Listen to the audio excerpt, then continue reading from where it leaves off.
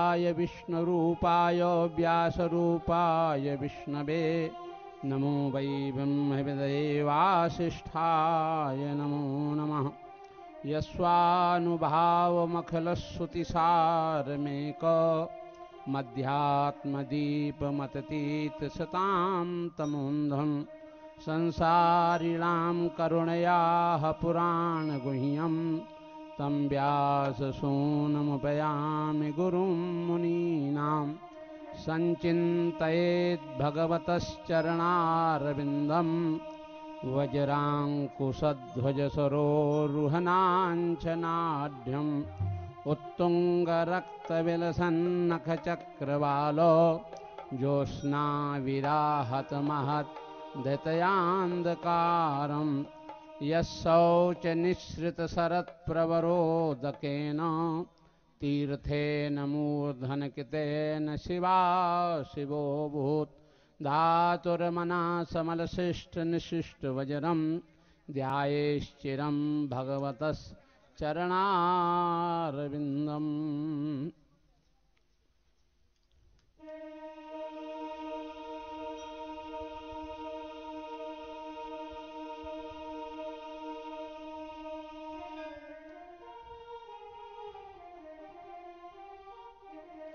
बोलिए श्री कृष्ण कन्हैया लाल की जय। जय काना काड़ा प्रभु जय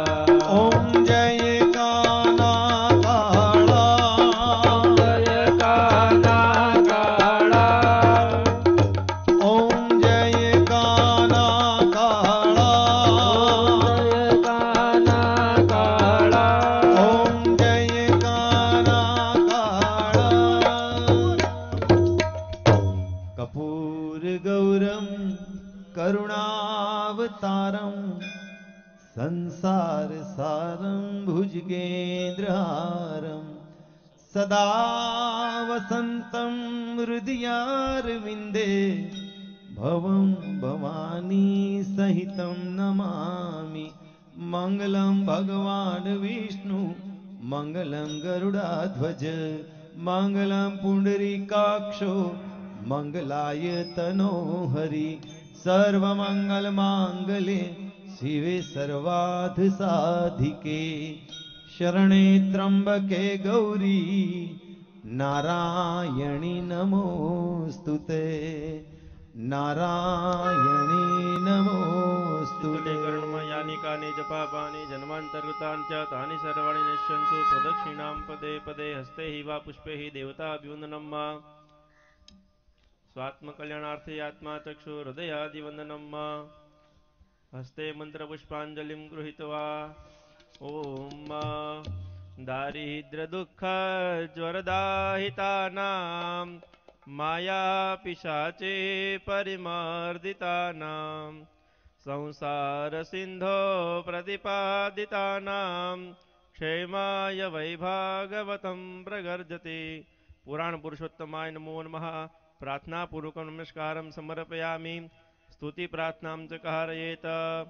ॐ यत्तेषु जातचरणाम्बुरुहंस्तनेषु भीताशनैः प्रियदधीमहि कर्कशेषु तेनाटवीमटसि तद्व्यदथेन किं स्वीत् कृपादिभिर्भ्रमतिभिर्भवदामि शाम्ना पुराणपुरुषोत्तमाय नमः स्तुतिप्रार्थनां समर्पयामि।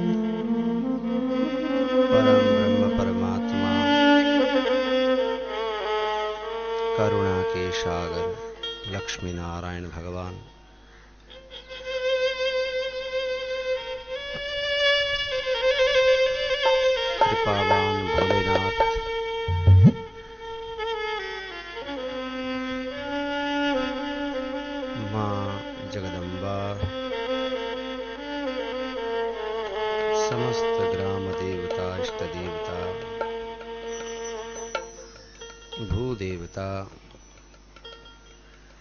गंधर्व देवता एजमान श्री। अने। पधारे वे सभी भक्तगण। आइए। हरि स्मरण करें।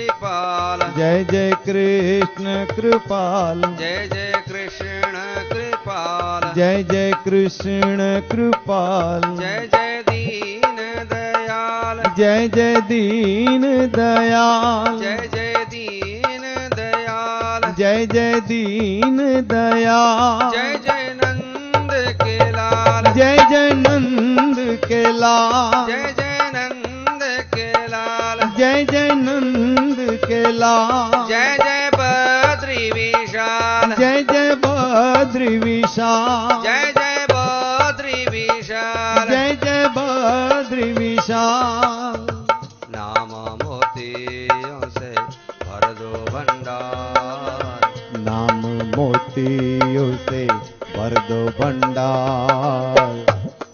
अभिनंदन वंदन बारंबार अभिनंदन वंदन बारंबार अभिनंदन वंदन बारंबार अभिनंदन वंदन बारंबार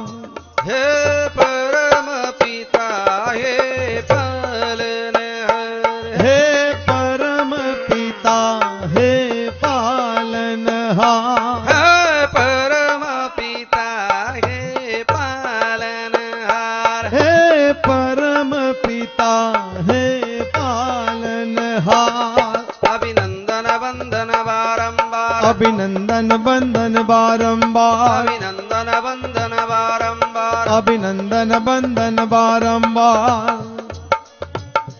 जय जय श्याम बिहारी। जय जय श्याम बिहारी। जय जय श्याम बिहारी। जय जय श्याम बिहारी। जय जय बाके बिहारी। जय जय बाके बिहारी। जय बिहारी। जय जय बाके बिहारी। जय जय रास बिहारी। जय जय रास बिहारी। जय जय रास बिहारी। जय जय रास बिहारी। जय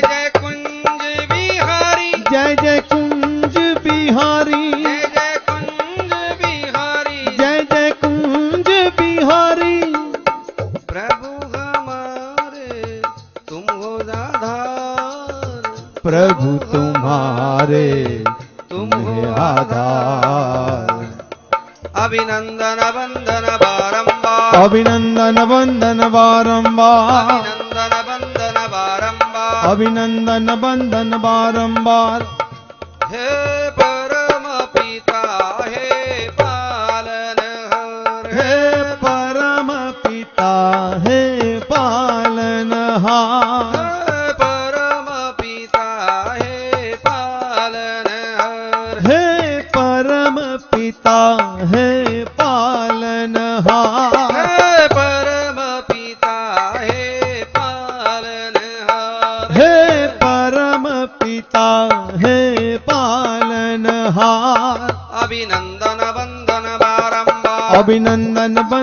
बारंबार। अभिनंदन बंदन बारंबार अभिनंदन बंदन बारंबार अभिनंदन बंदन बारंबार अभिनंदन बंदन बारंबार अभिनंदन बंदन बारंबार अभिनंदन बंदन बारंबार अभिनंदन बंदन बारंबार अभिनंदन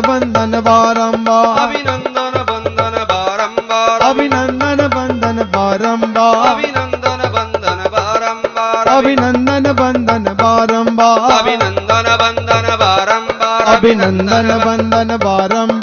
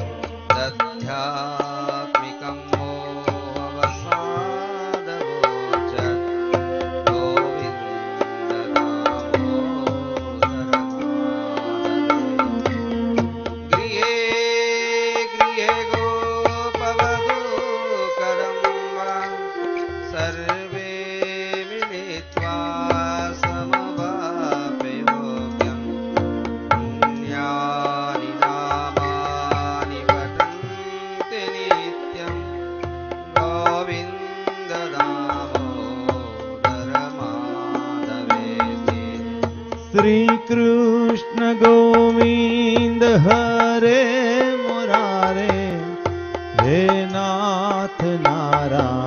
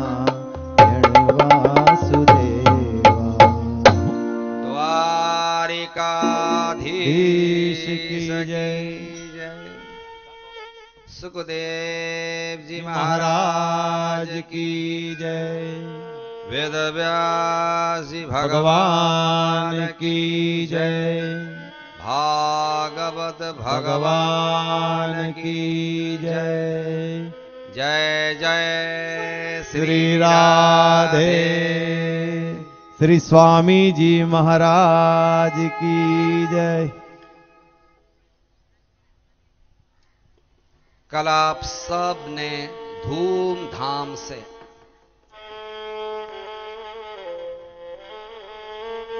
वैकुंठाधिपति भगवान नारायण का विवाह लक्ष्मी से करवाया। चराचर जगत के स्वामी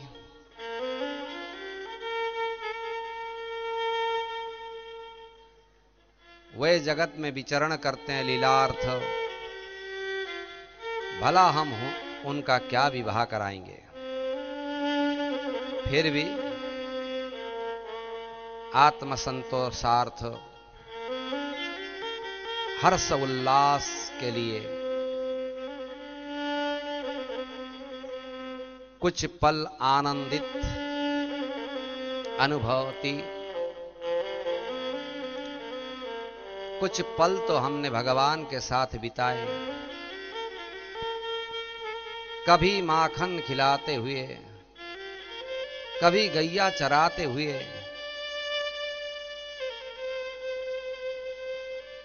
अब भगवान के विवाह में भी शामिल हो गए। अहो भाग्य हैं, उन यदिवंशियों के लिए और हमारे भी अहोभाग्य कि कल हमें भगवान के विवाह में शामिल होने का न्योता मिला।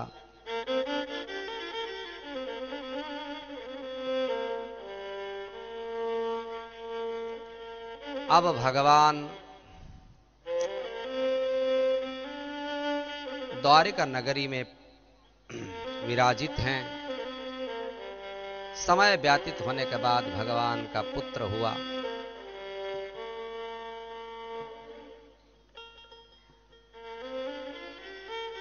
जिनका नाम था प्रद्युम्न।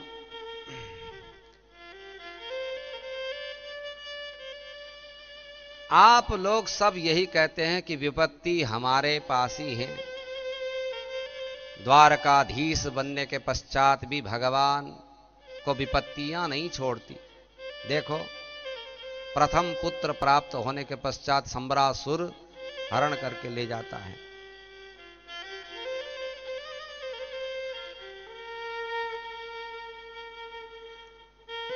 और उन्हीं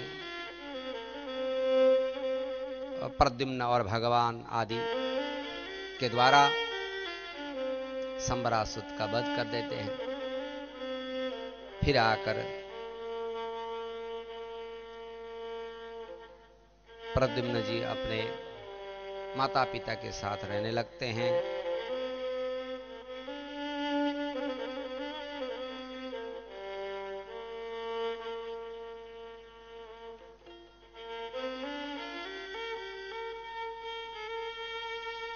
भगवान को मिथ्या कलंक वहाँ भी नहीं छोड़ा। लोग भगवान तक को नहीं छोड़ते। भगवान को चोरी का इल्ज़ाम लगा दिया गया।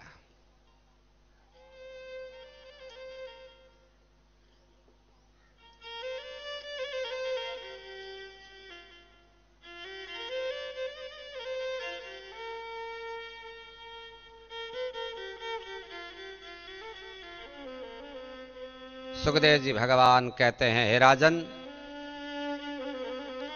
सत्राजित सो तनयाम कृष्णाय कृत किल्विष श्यामंत के न मणिना स्वयाद्युमुद्यम्य दत्तवान। सत्राजित ने भगवान श्री कृष्ण का एक अपराध किया था। उसी के लिए भगवान को अपनी कन्या और श्यामंतक मणि प्रदान किया। अब राजा परीक्षित पूछते हैं कि, हे प्रभु सत्राजित ने भगवान का क्या अपराध किया था, बताइए? तब सुखदेव जी महाराज कहते हैं, सत्राजीत जो थे वो भगवान सूर्य के परम भक्त थे।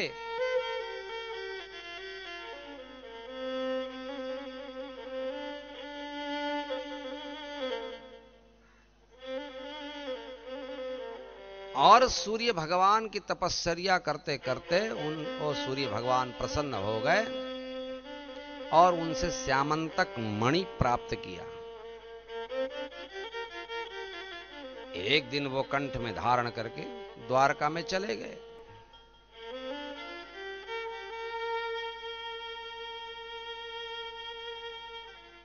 ऐसा जान पड़ता था जैसे दूसरे सूर्य का आगमन हो रहा हो, उदय हो रहे हो। यह सुनकर भगवान श्री कृष्ण हंस पड़े। कि ये दूसरा भगवान कहाँ से आए? ये दूसरे सूर्य नहीं, सत्राजीत हैं। आप लोग सब चकित ना हो ऐसा।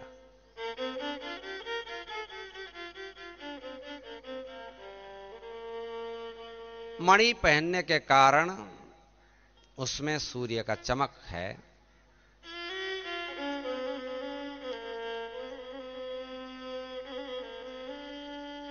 सत्राजित ने अपने घर जाकर इष्टदेव भगवान सूर्य के मंदिर में ब्राह्मणों द्वारा विधिवत उस मणि की स्थापना करा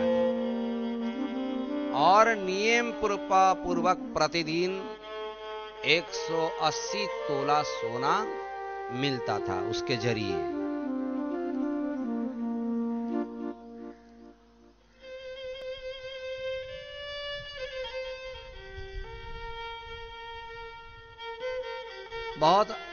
आनंदित था, ये सब सूर्य भगवान की कृपा से। एक समय भगवान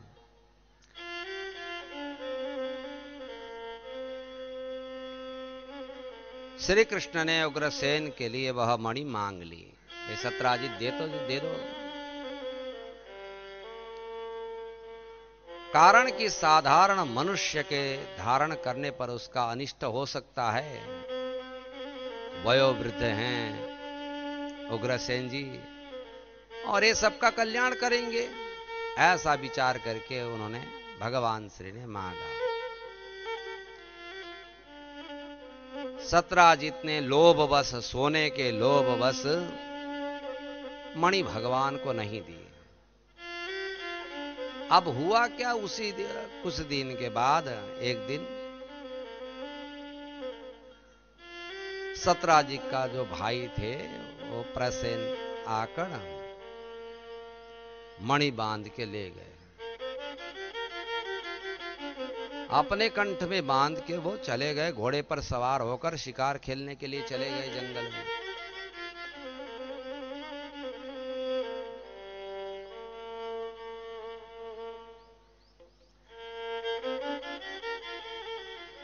अब वहाँ क्या हुआ? सिंह आदि ने घोड़े समेत उनको मारकर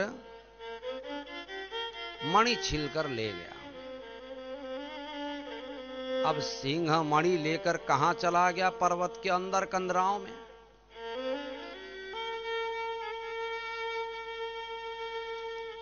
अब वहीं थे रिक्षराज जामवान। वहाँ सिंह को मार डाला जांगवान ने और मणि ले लिया।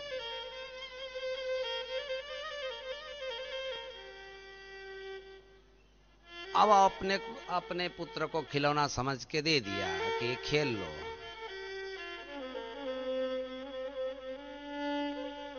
बच्चों का खिलौना समझा, बच्चियाँ भी खेल रहे हैं, बच्चे भी खेल रहे हैं।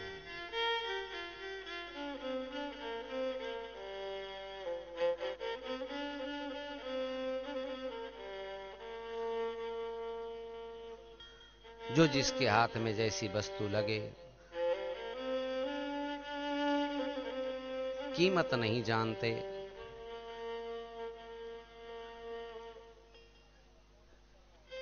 रोते हुए बच्चे को दे दिया मणि। खिलाती हुई उसकी धात्री माँ, उपमाता यह। बहुत सुंदर श्लोक पढ़ती हैं। सिंह प्रसेनमवधीत सिंहो जम्बवताहत सुकुमार कमारोदिस्तव हेष श्यामंतक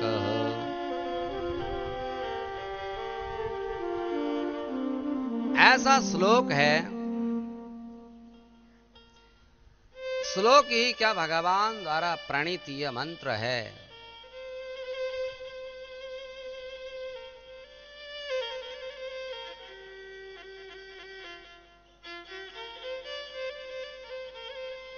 ये श्लोक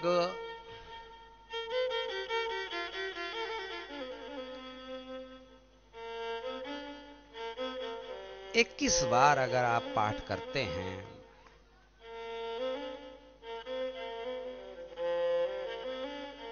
तो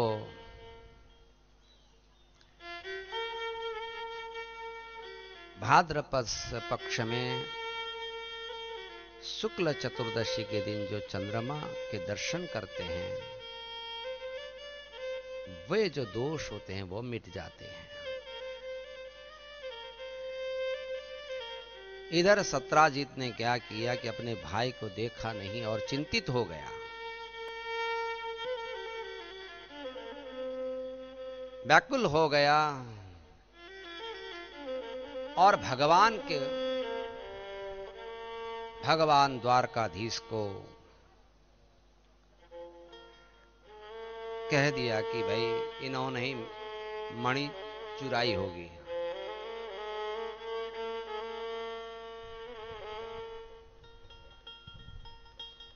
भगवान ने मन में विचार किया कि भरी सभा सबके सामने मुझे ये लज्जित कर रहा है।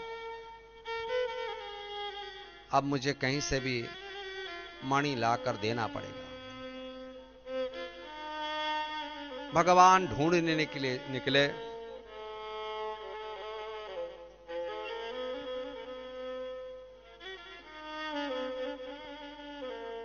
दूर दराज जंगल में पहुँच गए, वहाँ देखा। प्रशेन का रथ आदि सब पड़ा हुआ है। भगवान समझ गए कि ये कोई जंगली जानवर ले गया है। और आगे चलते गए चलते गए तो जंगल कंदरा के अंदर एक बड़ा गुफा दिखाई दिया।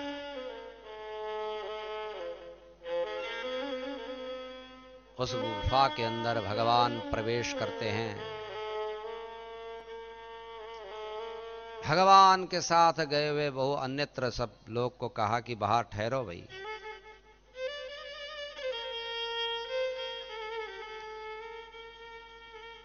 अंदर प्रवेश करते हैं। कौन कहाँ से आया है? अता पता नहीं है। जामवान से भेंट हुई और युद्ध करने लगे।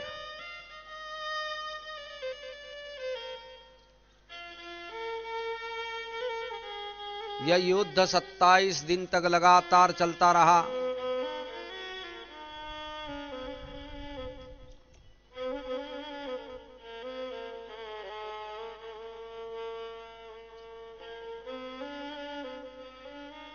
घमासान युद्ध में जामवान के शरीर के सभी अंग भगवान के प्रहार से ढीले पड़ गए।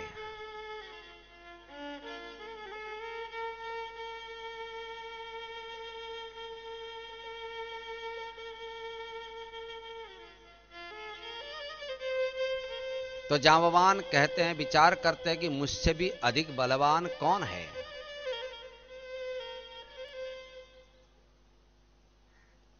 ऐसा समझा कि ये तो मेरा स्वामी है।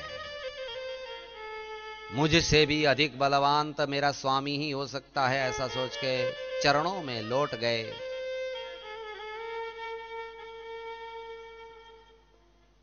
हे पुराण पुरुष, हे स्वामी हे साक्षात विष्णु, आपको प्रणाम करता हूँ। आप तो काल के भी काल हैं।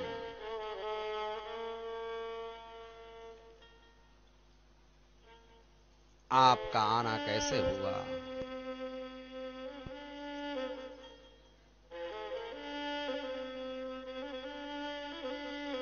तीक्ष्ण बाण द्वारा रावण का छेदन करने वाले हे राम, आपका आगमन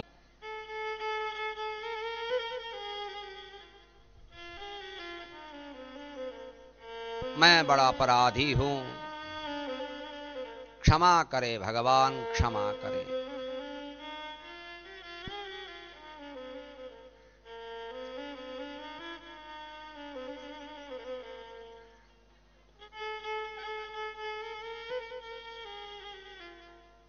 भगवान ने कहा कि इस मणि के कारण ही मुझे मिथ्या कलंक लगा है।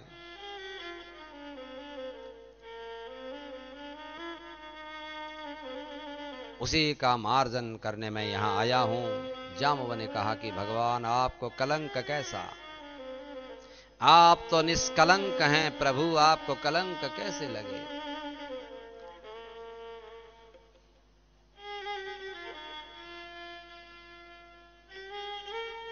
भगवान ने कहा, मैं केवल आकाश में नहीं, केवल केवल दो गो, गोपद जल में भाद्र शुक्ल पश चतुर्दशी चंद्र दर्शन किया था। इसी कारण मुझे यह मिथ्या कलंक लगा है।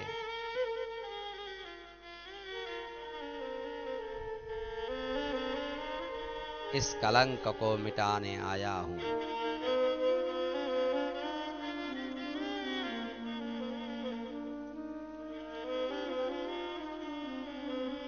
जामवान ने अपनी पुत्री को, जामवती को, भगवान को दे दिया।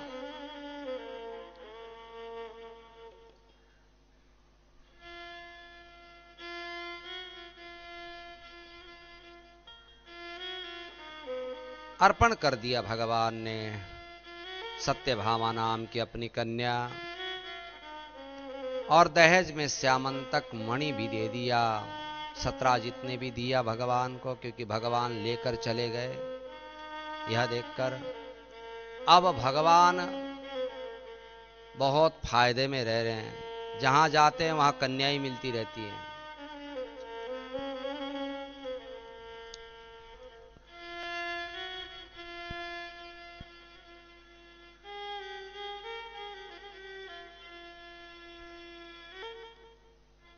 इधर मणि के अपहरण से शतधनवा का वध होता है। अक्रूर द्वारा फिर से प्राप्य मणि के कलंक का भी मार्जन करते हैं भगवान। श्री कृष्ण भगवान और अर्जुन एक दिन यमुना के किनारे जाते हैं।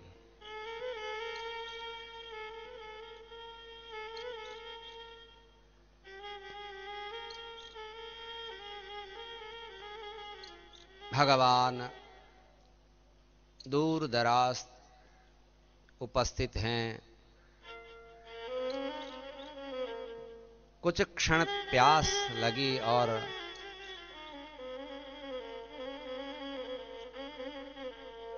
अर्जुन गए यमुना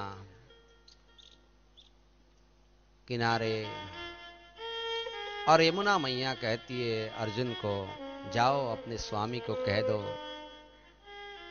बरसों से मैं जिनका इंतज़ार कर रहा हूँ, अब वो समय आ गया। बोले, क्या समय आ गया? आप कौन हो?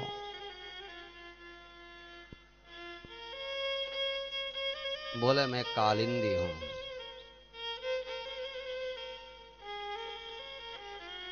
तो मैंने द्वारकाधीश को ही स्वीकार किया है पति रूप में। अब वो समय आ गया, मुझे स्वीकार करें, पानी ग्रहण करें। जाकर प्रणाम किया अर्जुन ने भगवान द्वारकाधीश को और बात रखा।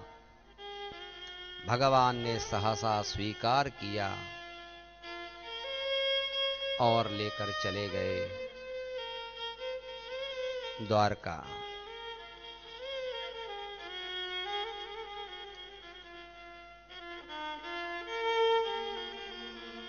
यही भगवान सूर्य की पुत्री, यमराज की बहन। आज भगवान की अर्धांगिनी बनी है।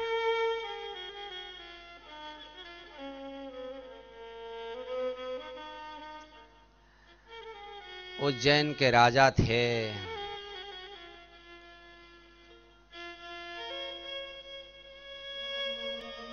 और उनकी ही पुत्री मित्र मित्रविंदा से भी भगवान विवाह संपन्न करते हैं। और इधर अयोध्या के राजा नग्नजीत थे।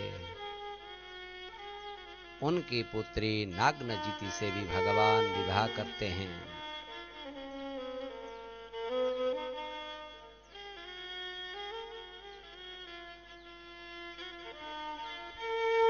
इन्हीं से भगवान के अष्टपटराणियाँ होती हैं। और वंश परंपरा आगे बढ़ती है। भैष्मी जाम्बवती भामा। सत्यभद्रा च लक्ष्मणा कालिन्दी मित्रबिन्दा चेष्ट चेतिष्टौ पट्टमा स्त्रियः। रुक्मिणी तो पहले ही है, जिनका विवाह आप लोगों ने संपन्न करवाया। जाम्बवती सत्यभामा कालिंदी मित्रबिंदा।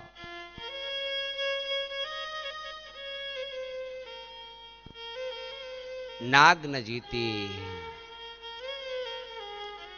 भद्रा और लक्ष्मणा, यही भगवान के अष्टपत्राणी हैं।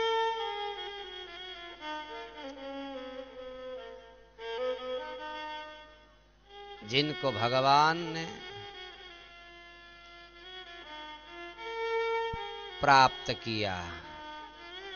कहीं ज़बरदस्ती, कहीं युद्ध करके, और किसी ने दे भी दिया।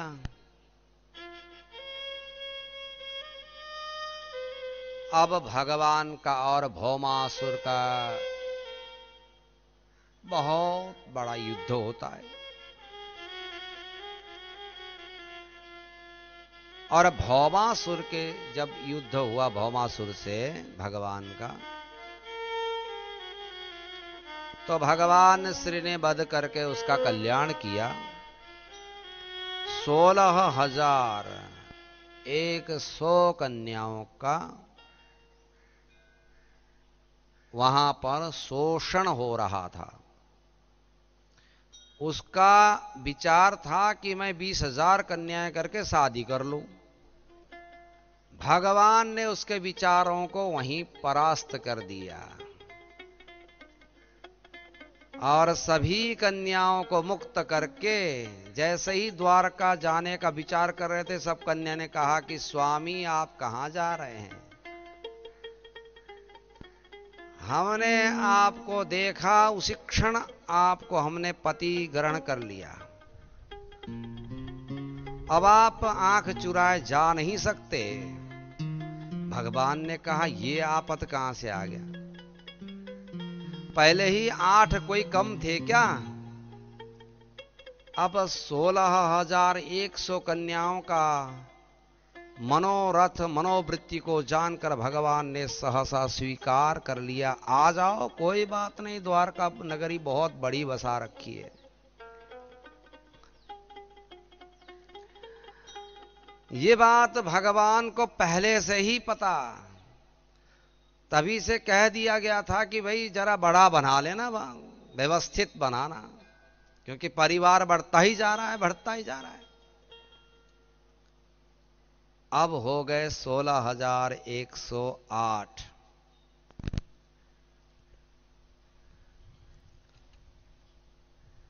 भगवान श्री नारायण जगदम्बा स्वरूपिणी।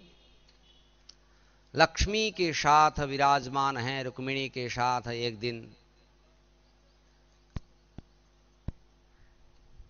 और हास परिहास करते हैं। ऐसा परिहास करते हैं कि देवी को दुख हो जाता है। भगवान कहते हैं कि देवी आप तो एक राजा की पुत्री हो। विदर्भ देश के राजा जो थे, उनकी पुत्री भीष्मक की पुत्री थी। आप चाहती तो राजकुमार ढूंढ सकती थी। मेरे जैसा ग्वाले को कैसे पसंद कर लिया? मैं भला गैया चराने वाला कहीं ठान ठिकाना नहीं। और ये तो कुछ दिनों का है ये द्वारका तो ऐसे ही बसा रखा है।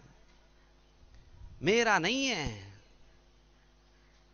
आपको तो रा, बड़े बड़े राजा भी मिल सकते थे। अभी भी कुछ बिगड़ा नहीं है। अब बड़ा उनको लगा कि कहीं छोड़ ना दे तो बातें ऐसे कर रहे हैं।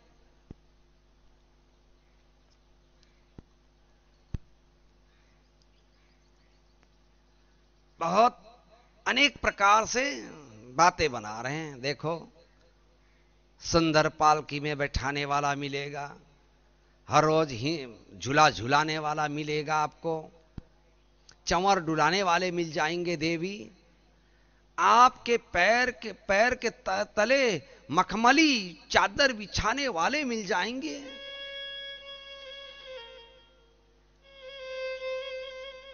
मेरे पास तक कुछ भी नहीं है, मुझे कैसे पसंद कर लिया? अभी भी विचार करो। समय है अभी भी।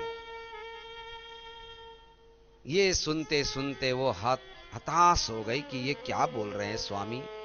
आज कैसी भाषा निकाल रहे हैं? अब शायद मुझे छोड़ देंगे ऐसा छोड़, सोच के बेहोश हो गई वही। और धड़ाम से गिर गई। अरे अरे, क्या कर रही हो, क्या कर रही हो? ऐसा करके भगवान अपने हाथों से उठाते हैं और कहते हैं, देवी, मैं तो हास परिहास कर रहा था। मैं आपको तो कभी छोड़ ही नहीं सकता। चाहे पृथ्वी में हो, चाहे बैकुंठ में हो, कभी नहीं छोड़ सकता। ऐसा कह के भगवान लक्ष्मी को अपने गोदी में बिठाते हैं। और सांत्वना प्रदान करते हैं।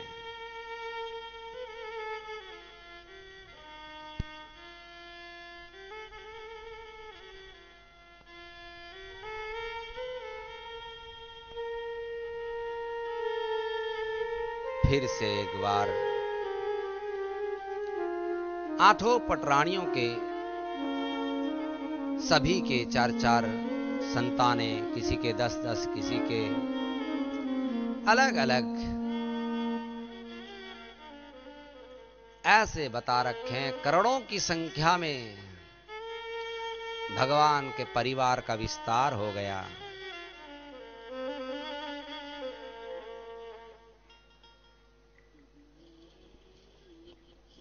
अनिरुद्ध के विवाह हो गया। और बलराम द्वारा रुक्मी का वध करने में आया।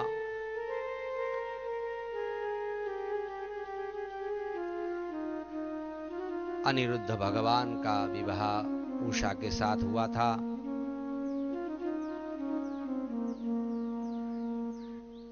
ये उषा वही वाणासुर की कन्या थी। यहाँ भी युद्ध हुआ। और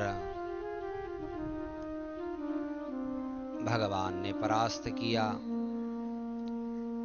सुखदेव जी महाराज कहते हैं, राजन,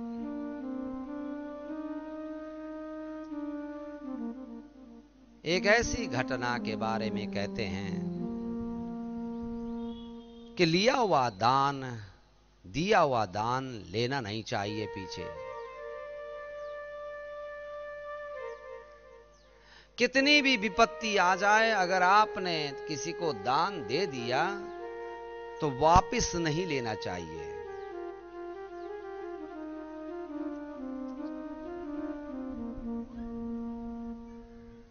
इसलिए उनको कहते हैं कि इसलिए आपको पता होगा, एक दो दो दो दो मुख का सांप होता है। आपको पता होगा, उसको तो यहाँ पता नहीं क्या बोलते हैं। आगे भी चलता है, पीछे भी चलता है। तो ऐसा ही एक और है, हम लोग जिसको कहते हैं गिरगिट, वो भी अपना रंग बदल लेता है। तो एक राजा थे, निर्ग राजा। बहुत सारे गाय पालते थे। गाय का सेवा, ब्राह्मण की सेवा में तत्पर थे। उन्होंने ब्राह्मण को गौदान दिया और जिन ब्राह्मण को दिया, वे लेकर चले गए और दूसरे ब्राह्मण आए और वे भी लेके चले गए। पहले वाला ब्राह्मण की गाय छूटकर वापिस आ गई। और जो ब्राह्मण ले जा रहा है गाय, उसके झुंड में सम्मिलित हो गया। तो कहा,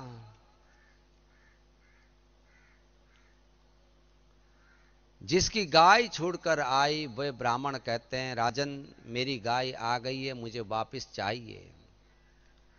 राजन कहते कि आपकी गाय कहाँ है? मुझे पता नहीं है। आप मेरे यहाँ से कोई भी गाय ले जाइए। आपत्ति नहीं है। और जिस ब्राह्मण के झुंड में वो गाय रह गई, वो ब्राह्मण कहता है कि ये तो मेरी है, मैंने दूँगा। अब फंस गए कौन राजा? ब्राह्मण, जो ब्राह्मण की गाय छूट गई थी, वही ब्राह्मण आकर कहते कि राजा, तू झूठ बोलता है। तूने मुझे गौ दान किया था।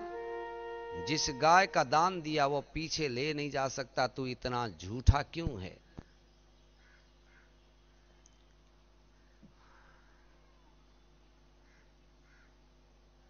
ब्राह्मण को दिया हुआ दान तू पीछे ले जाता है और अपने आप को इतना साहूकार बताता है।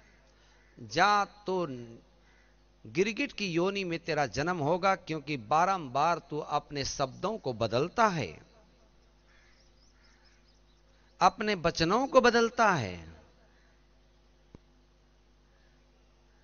तो उन्होंने साप दे दिया।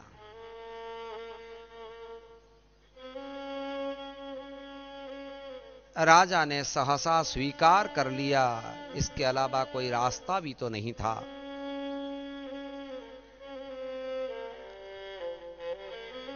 कल्याण कैसे हो?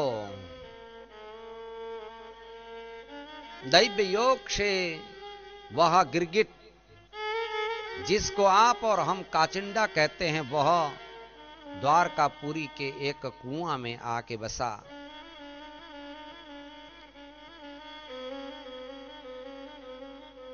द्वारका के निवासी स्थ भगवान के बाल बच्चे सभी वहाँ कुछ खेल रहे थे। और गेंद खेलते थे, वो गेंद जाकर चला गया, कुआँ में पड़ गया। सभी सांबा आदि बच्चों ने देख लिया और भगवान को बुलाया, भगवान, पिताश्री पिताश्री, इस कुएँ में कोई बड़ा सा जीव जंतु दिखाई देता है।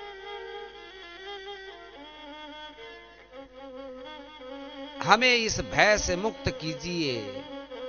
भगवान श्री आते हैं और देखते हैं कि इतना बड़ा जानवर। भगवान ने अपने हाथ में सीख आदि,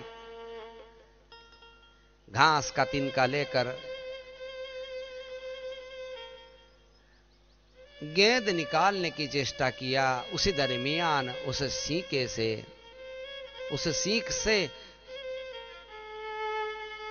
गिरगिट को स्पर्श हुआ। और सहसा राजकुमार के वेश में परिणत हो गए। और हाथ जोड़ के प्रार्थना करते हैं। भगवान ने कहा कि कहाँ से आए हो? कौन हो तुम? बताओ अपनी व्यथा किस लिए इस किस लिए ऐसा जानवर की योनि में आना पड़ा आपको बताइए।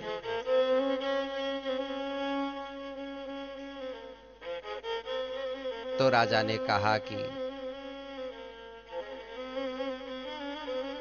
मैं तो सत्य पथ में ही चल रहा था प्रभु। मेरे दान के बारे में कौन नहीं जानता। धरती में जितने रेती के कण हैं, उतने तो मैंने गोदान कर चुका हूँ। किंतु एक गाय के कारण ब्राह्मण ने मुझे साप दे दिया और मेरी ये गति हुई है। आज आपके कर कमलों से मेरा उद्धार हो गया प्रभु। मैं धन्य हो गया। आपका दर्शन ही भक्तों के हितार्थ हुआ करता है भगवान। तथास्तु कह के भगवान अंतपुर को गए और राजा निर्ग का कल्याण हो गया। बलदाव को गोकुल जाने की इच्छा हुई, चलो बहुत दिन हो गए हैं। अपनी जन्मस्थली भी देख के आवे।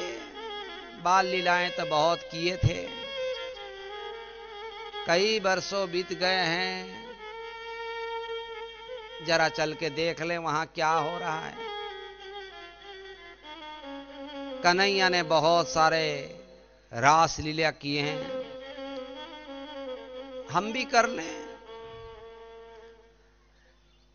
दोनों साथ में थे तो नहीं कर पाते थे क्योंकि मर्यादा थी। बड़े भाई के साथ, छोटे भाई को कैसे रहना, ये सब मर्यादाएँ थी। अब अकेले अकेले हैं, भगवान तो वहाँ द्वारकाधीश बन के बैठे हैं।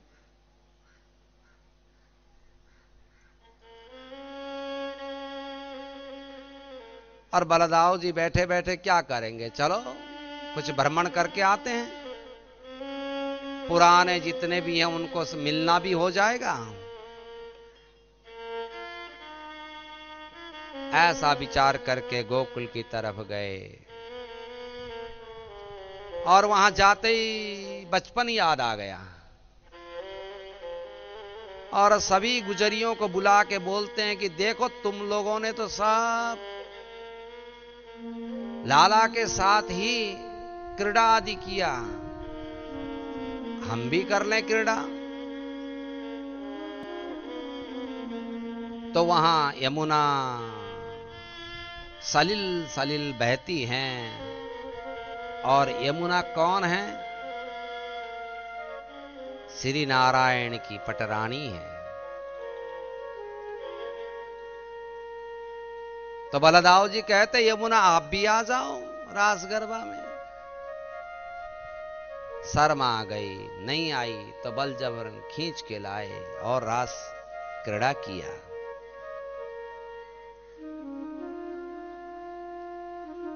इधर भगवान के साथ युद्ध छिड़ जाता है।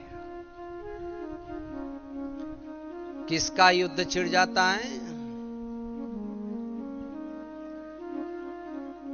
पौंड्रक आदि राजाओं का साथ।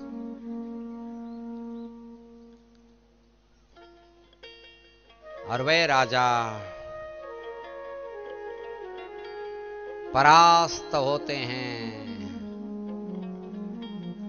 और भगवान के सुदर्शन चक्र द्वारा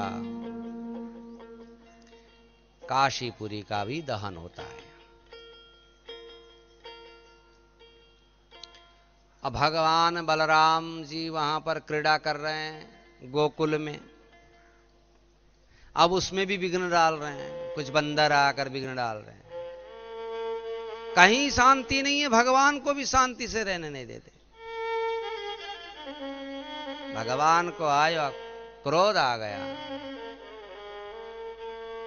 सबको द्वारकापुरी में छोड़कर मैं अकेला यहाँ पर आनंदित होने के लिए आया उसमें भी विघ्न डाल रहा है। अपना हल उठाया, अच्युतम के समन कर दिया।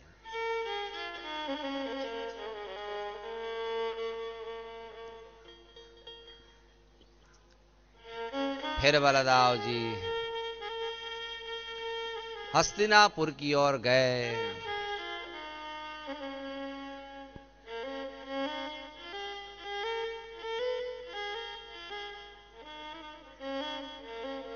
जाम्बवती के पुत्र का विवाह होना था सांब के साथ।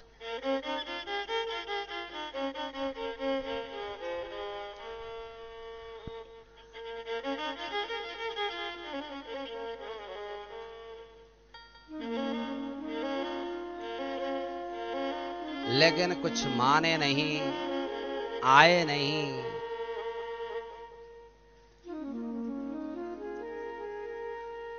सबको बुलाया भगवान बलदाव ने, आओ,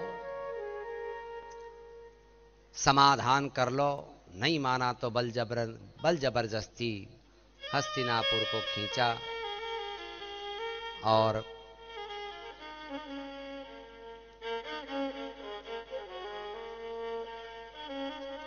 संबंध करवाया। नारद मुनि को मन में ऐसा भाव उत्पन्न हुआ कि एक दिन कि जाकर भगवान श्री के दैनिक जीवन लीला देखा जाए।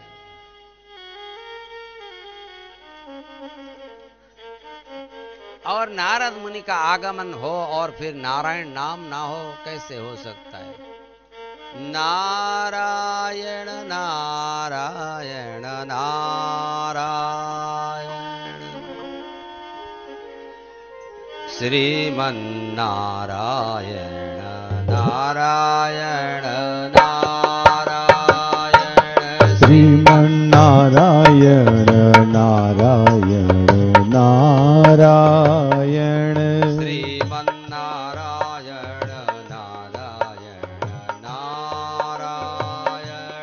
श्रीमन्नारायण नारायण नारायण। भजमन नारायण नारायण। भजमन नारायण नारायण। भजमन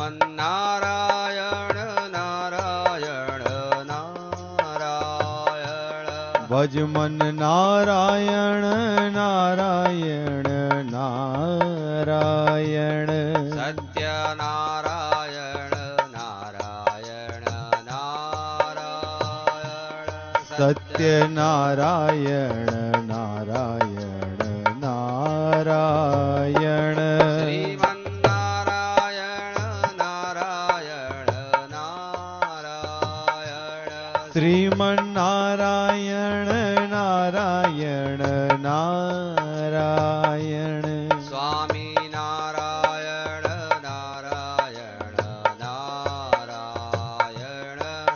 स्वामी नारायण नारायण नारायण स्वामी नारायण नारायण नारायण स्वामी नारायण नारायण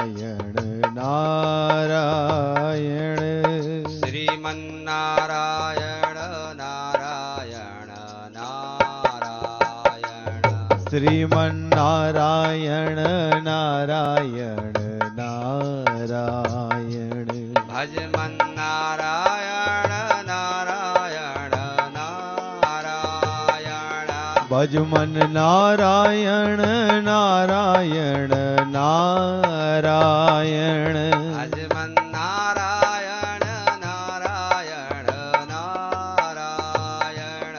भज मन नारायण नारायण नारायण। नारायण भगवान की जय। नारद मुनि द्वारका में पधारे। और वो भी इसलिए कि भगवान श्री नारायण का दी दैनिक दिनचर्या देखने के लिए।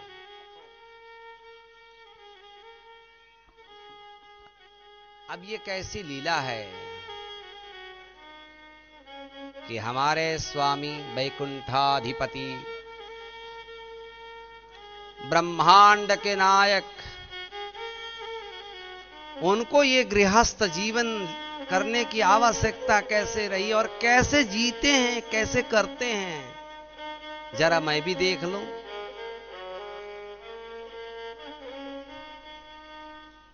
गारहस्थ जीवन कभी किसी ने जिया ही ना हो, उसको तो पता ही नहीं है। भगवान ने तो जिया नहीं था, ये सब किया ही नहीं था।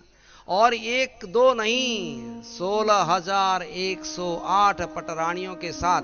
और अब तो सबके दस दस बच्चे भी हो चुके हैं। करोड़ों की संख्या में है, सोचिए आप। कितना बड़ा परिवार। अब इतने सारे परिवार के साथ हिलमिल के रहना। कोई छोटी मोटी बात तो नहीं है। तो ये कौन कर सकता है? भगवान ही कर सकते हैं। एको हम बहुश्याम। जो एक से अधिक हो सकता है, वही कर सकता है। एक अकेला नहीं कर सकता।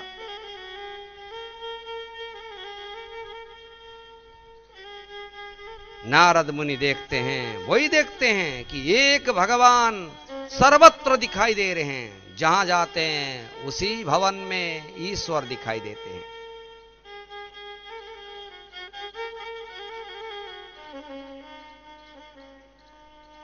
अलग अलग रानियों से अलग अलग सेवा लेते हुए, कहीं सेवा करते हुए, कहीं सेवा कराते हुए भगवान भगवान की ही सेवा करते दिखाई पड़े। ये देखते ही नारद मुनि को अचरज हो गया, ओहो, आज भगवान भगवान की ही सेवा कर रहा है।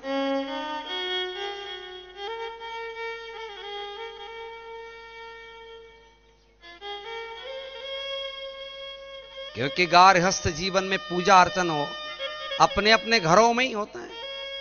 सुबह नहा धो के घंटड़ी लाते हैं ना, खड़खड़ खड़खड़ कर आरती आदि करते हैं, वे सब कर रहे थे भगवान। और जब नारद मुनि का आगमन हुआ, तब कहते हैं, भगवान कहते हैं, आइए मुनिवरी, आइए विराजिए। कहीं स्वागत भी कर रहे हैं।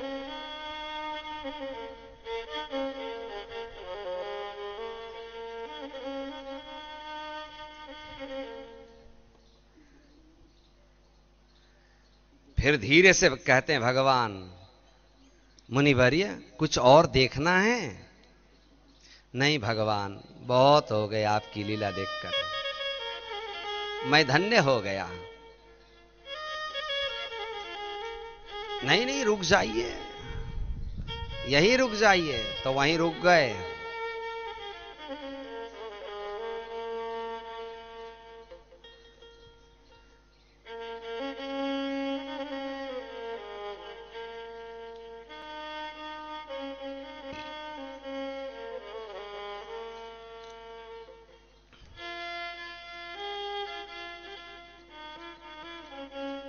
दिनचर्या देखते देखते भगवान के अनन्य लीलाओं के बारे में चिंतन करते हैं नारद मुनि।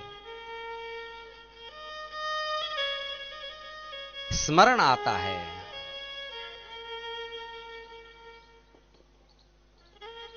कहा? वेद के ऋचाएँ जिनकी स्तुति करते हैं, वे भगवान आज यहाँ। अनेक अनेक लीलाएँ कर रहे हैं।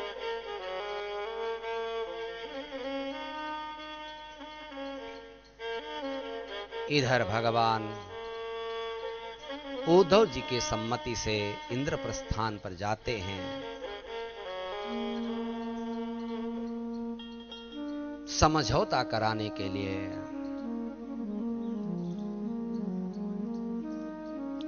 और वहाँ से लौट जाते हैं।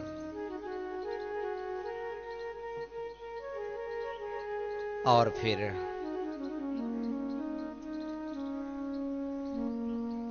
जरासंध का बध करने का आयोजन करते हैं।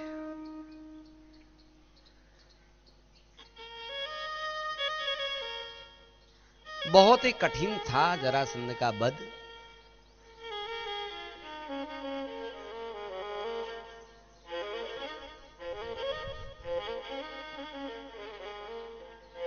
ब्राह्मणों को बहुत ही आदर और सम्मान देता था।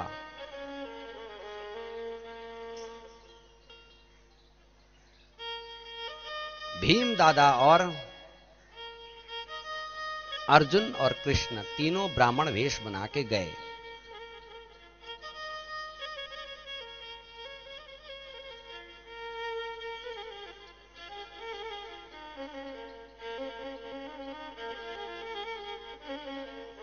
और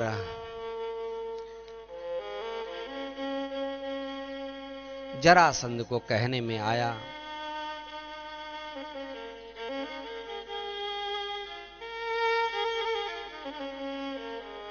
कि तीन ब्राह्मण आए हैं। जरासंध ने कहा कि मांगो, जो मांगना है। विनित भाव से कहा कि हम याचना करने आए ठीक है, जो मांगोगे वो दे देंगे। उन्होंने कहा कि हम युद्ध मांगते हैं।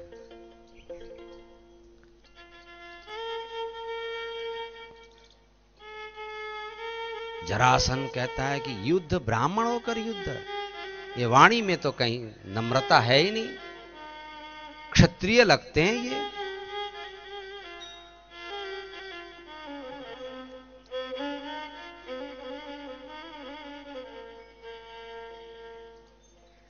पहचान आ गया अब पहचान लिया जरासन ने।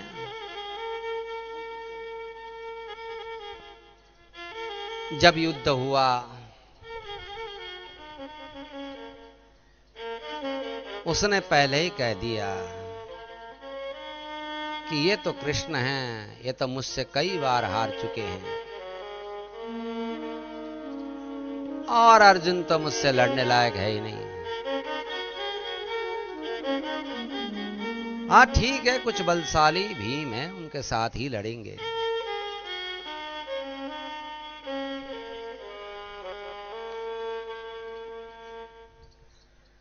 कई दिनों तक युद्ध हुआ। भीम थक गए। हताश होने लगे कि अब कैसे?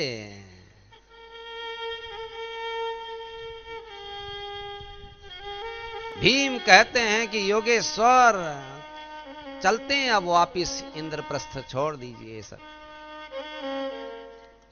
मुझसे नहीं होगा, मैं लड़ लड़ नहीं पाऊँगा। रुक जाओ रुक जाओ कुमार। इसका बध निश्चित है। कल सुबह ही इसका बध हो जाएगा।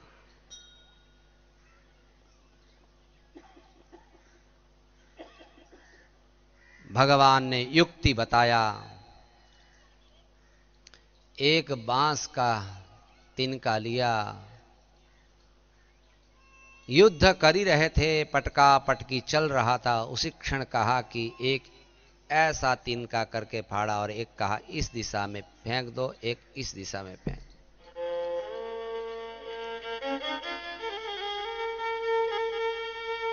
भीम ने दोनों जांग पकड़ लिए दोनों पैर जरासंध के। और दो एक पैर से एक दबाया पैर और दूसरे हाथों से दूसरा पैर पकड़ के चीर दिया और एक को दूसरी दिशा में फेंक दिए और दूसरे को दूसरी दिशा में फेंक दिए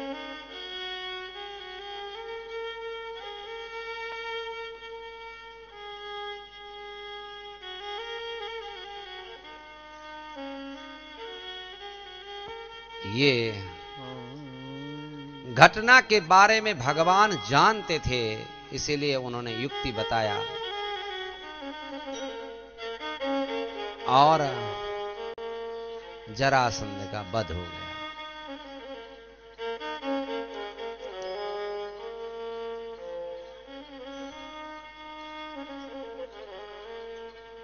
उसने भी कई राजाओं को बंदी बना के रखा था।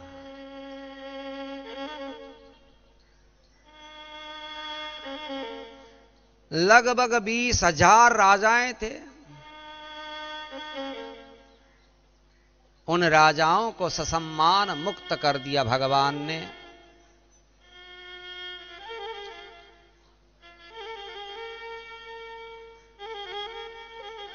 विनित भाव से भगवान के चरण में अपना शीश झुकाते हुए राजा सम्मान पाते हुए अपने अपने स्थान को चले गए।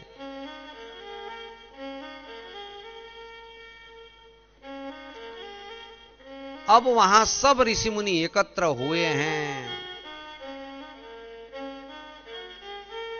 सबने कहा कि राष्ट्रीय यज्ञ का आरंभ होना चाहिए, तैयारियाँ करनी चाहिए।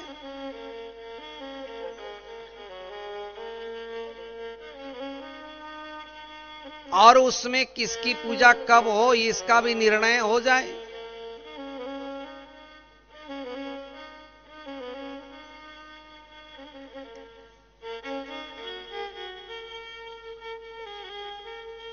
तो उसमें भरी सभा में जब निर्णायक लोग सब निर्णय ले रहे थे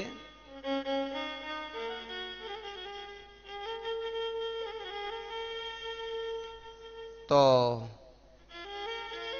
शिशुपाल ने भगवान को निन्यानबे निन्यानबे बार गाली दिया।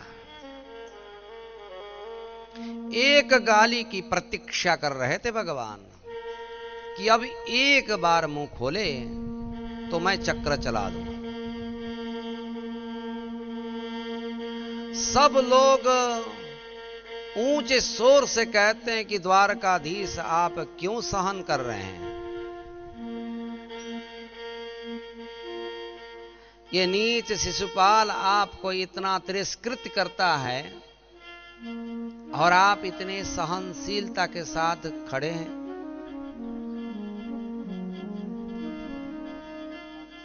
अर्जुन कहते हैं, आप कहो तो इसके टुकड़े टुकड़े कर दो। भगवान कहते कि नहीं, धीरज बांधो। और भी बहुत सारे भगवान के हितैषी भगवान के अनन्य भक्त उठकर खड़े होकर कहते हैं कि आप कहें तो सभा से इसको खींचते हुए बाहर ले जाएँ। भगवान ने कहा कि ऐसा अनुचित कार्य ना करें। अंत में शिशुपाल ने सौवीं गाली निकाला। भगवान ने अपना चक्र छोड़ा और उसका वध कर डाला। ऐसे ही भगवान को मारने आने वाली बाल घातिनी पूतना का कल्याण कर दिया भगवान ने। ऐसा यहाँ शिशुपाल भगवान को नित्य गाली ही देता था और भगवान ने उसको भी अपना धाम दे दिया, यानी मुक्ति दे दिया।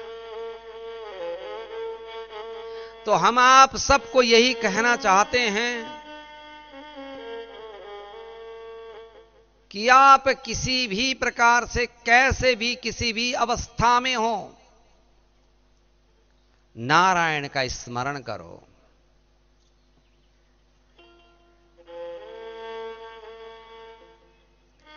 हर हमेशा आपके अंदर कहीं ना कहीं बहुत अनन्य योजनाएँ चलते होंगे।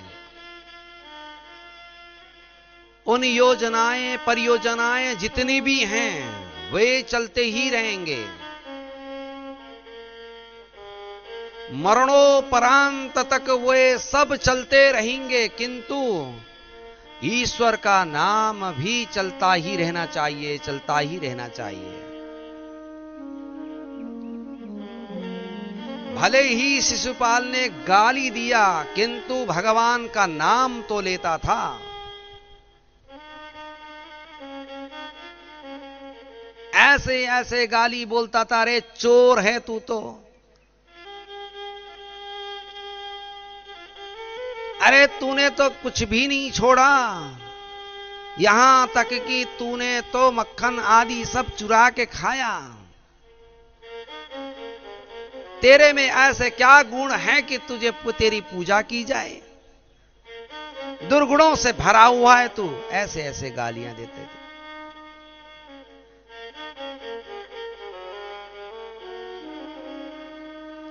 ये आप पर निर्भर है कि आप गाली देते हैं या प्रेम करते हैं। छूट है।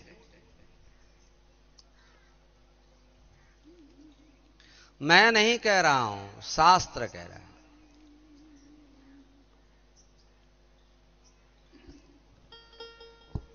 भगवान श्री द्वारकाधीश का अग्र पूजन किया गया। हर्षोल्लास के साथ राष्ट्रीय यज्ञ संपन्न हुआ। इधर शिशुपाल का जब वध हो गया तो बस उसके जो मित्र थे, उनको क्रोध आ गया। अब भगवान के ऊपर चढ़ाई करने लग गए। सालवादियों के साथ भगवान का महान युद्ध हुआ। भगवान ने उन सभी का वध कर दिया। दंत वक्त्र हैं, विदुरथ है। उन सबका वध करते हुए आगे बढ़े। उधर भगवान बलदाव जी कहाँ चले हैं? तीर्थाटन करने। उन्होंने कहा कि अब मेरा यहाँ कुछ काम काज तो रहा नहीं। अब चलता हूँ मैं तीर्थाटन करने के लिए। वे पहुँच गए कहा? नहीं मी शारण्य क्षेत्र में। वहाँ अट्ठासी हज़ार ऋषियों को कथा सुना रहे थे। सूत जी महाराज, अब बलदाव जी पहुँचे। उन्होंने कुछ सत्कार सुसार हुआ नहीं, क्योंकि व्यास पीठ से कोई उठ नहीं सकता। मन ही मन प्रणाम किए होंगे, लेकिन बलदाव को क्रोध आया तो उनका भी वध कर डाला। अब सभी ऋषि मुनियों ने कहा कि प्रभु, त्राहिमाम क्षमा करें क्षमा करें, अब कथा कौन बोलेगा? हम तो बरसों से कथा श्रवण करते आए थे, आपका आगमन हुआ, और आपने इनका वध कर डाला। ब्रह्म हत्या लगी आपको। भगवान ने अपने तेजोमय दिव्य शक्ति से उनको प्रकट किया और फिर से कथा बोलने लग गए। लेकिन ब्रह्म हत्या टली नहीं और वे फिर से तीर्थाटन करने के लिए चले समस्त तीर्थों का सेवन करते हुए बलदाव जी भ्रमण कर रहे हैं। यही एक बहुत बड़ा संदेश है। कि अगर आपसे कुछ त्रुटियाँ हुई हैं या कुछ भूल हुए तो आपको तीर्थाटन करना चाहिए, तीर्थ का सेवन करना चाहिए, और प्रयाश्चित यही है। इससे बड़ा कोई प्रयाश्चित नहीं है। और हम लोग जाते तो क्या क्या करते हैं वहाँ? बड़े आनंद से, गर्म पानी से स्नान होना चाहिए। हैं? तीर्थाटन का मतलब है कि दुख उठाना, दुख झेलना। बलदाव जी नंगे पाँव तीर्थाटन कर रहे हैं, भगवान होते हुए भी। और भगवान हम और आपको संदेश देते हैं कि देखो, आप सबको यही करना है। अगर आपसे जाने अनजाने में पाप हुए होंगे तो उन पाप को मिटाने के लिए यही करना ज़रूरी है। आज सभी भक्तों ने ये छोड़ दिया तीर्थों की महिमा क्या है? तीर्थों में जाकर हमें क्या करना चाहिए? कोई नहीं जानता। सबको सुविधाओं से मतलब है। दुविधाओं से किसी को कोई वास्ता नहीं है। ये घोर कलयुग है, कहना भी अति संयुक्ति नहीं होगा। बड़े बड़े दानवीर बड़े बड़े धर्मशालाएँ बड़े बड़े आश्रम बना रहे हैं। और वे अपनी सुविधाओं को पहले देखते हैं। वे अपने परिवार वालों के साथ ये कहते हैं कि हम जाएँगे। हम गए थे एक बार, पचास साल पहले, वहाँ कोई सुविधा नहीं थी। आज भगवान ने पैसा दिया है, बना देंगे सौ कमरे वाला। और महाराज हमें जाते ही सब कुछ सौंप देंगे। यही सब का मनोवृत्ति है। अब इससे क्या होगा भगवान जाने? मैं कुछ नहीं कहूँगा। इससे क्या प्राश्चित होगा? वो हम नहीं जान सकते। पैसे वाले तो पहले भी थे।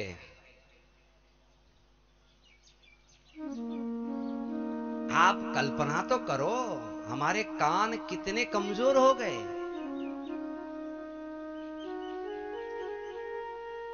अट्ठासी हज़ार ऋषि सुन रहे हैं एक के मुख से कथा, और यहाँ आठ लोगों के लिए माइक लगाना पड़े। कितने कमज़ोर हो गए हम लोग। आँखों से कमज़ोर। और हर चीज़ का विकल्प ढूंढते हैं। भले आँखें नहीं दिख रहे, चश्मा लगा दो। अब चश्मा ही नहीं काम करेगा तो क्या करोगे? फिर दूसरा विकल्प ढूंढता है। इंसान ये कभी नहीं सोचता कि ये रोग ना आए, लेकिन इंसान उसका विकल्प ढूँढने शुरू कर देता है। इसीलिए इंसान दुखी है। हमें क्यों विकल्प ढूंढना पड़े? ऐसा होए क्यों?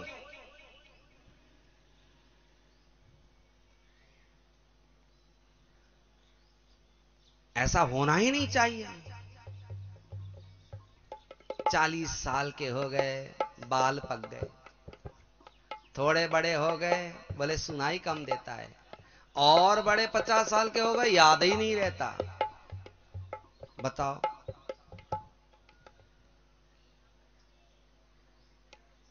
और पहला स्मृति सौ साल के दादा को पूछो पचासी साल की दादी को पूछो, इक्कीस पीढ़ी का पूरा विवरण बता देंगे। अभी तो बोले कुछ पता ही नहीं है। ये हम लोगों ने अपना जीवन को ऐसा बना दिया है कि ये जीवन किसी और के हाथ का खिलौना बन गया है।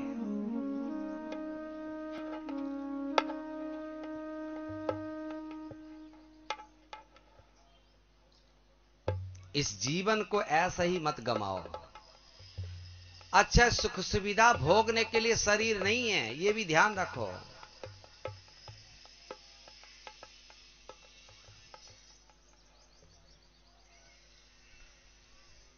लोग ये कहेंगे कि दुख तो मिल ही रहा है।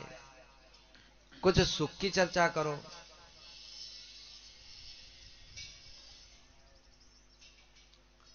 जो स्वाभाविक आपको प्राप्य है, उसको पाकर इंसान दुखित क्यों है? अच्छा आप ये बताइए, दुख तो आपने कभी मांगा ही नहीं। स्वयं मिल गया और उसमें कोई राज़ी नहीं है। और जो हमारे पास नहीं है, उसकी याचना करते हैं। और इसी, इसीलिए दुख होता है। जो नहीं है, उसको पाना चाहते हैं। और जो है, उसी में अगर खुश रह जाएँ तो उसका आनंद ही कुछ और है। उस, वो दुख में भी सुख महसूस होगा।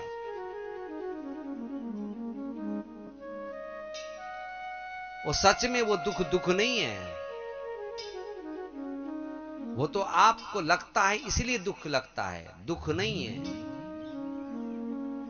आनंद का अनुभूति कर लीजिए आप लोग।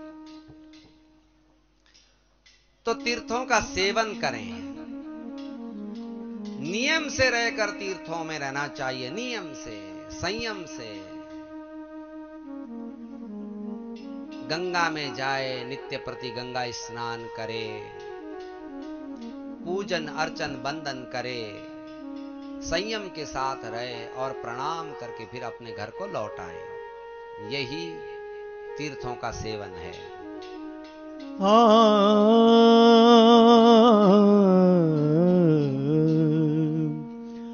भव सागर सब सुख गयो है।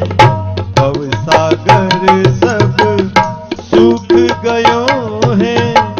फिकर नहीं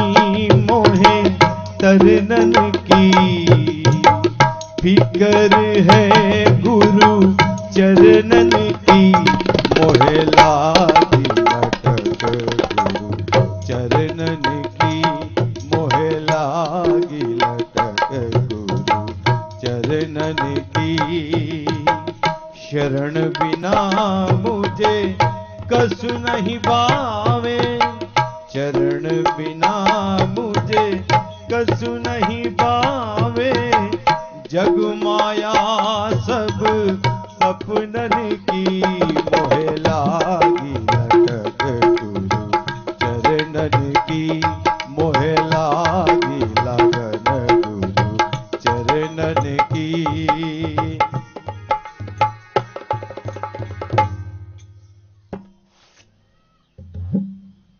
भगवान के यादों में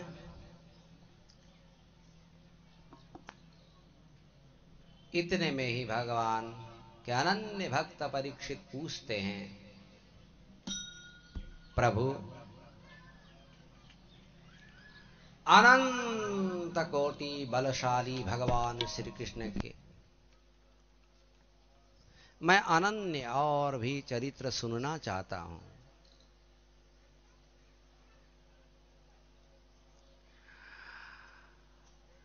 उनसे मेरी तृप्ति नहीं होती है। सुनते रहूँ, सुनता रहूँ सुनता रहूँ। संसार में कौन ऐसा विवेकी पुरुष होगा जो भगवान की मंगलमयी कथा से निवृत्त होना चाहेगा? कौन ऐसा होगा?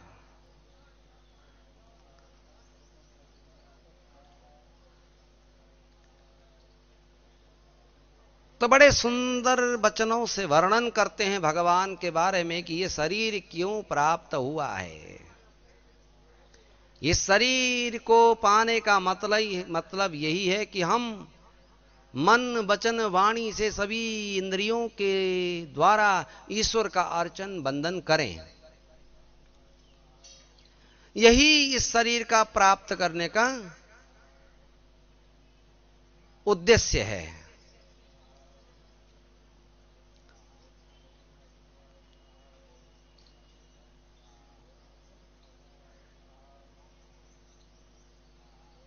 सूत जी ने कहा, हे सौनक,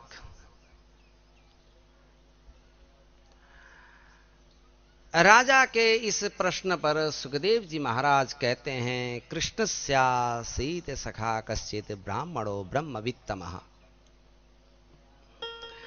विरक्त इंद्रियार्थेषु प्रशांतात्मा जितेंद्रिय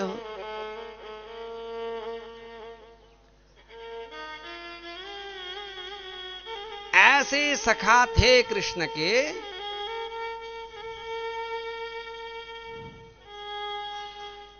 ब्रह्म ज्ञान के भरपूर भंडार थे। हैं? ब्रह्म वित्तमा उनके पास धन था तो किस चीज़ का धन था? ज्ञान। ब्राह्मण का अगर धन है तो क्या है? ज्ञान ही उनका धन है।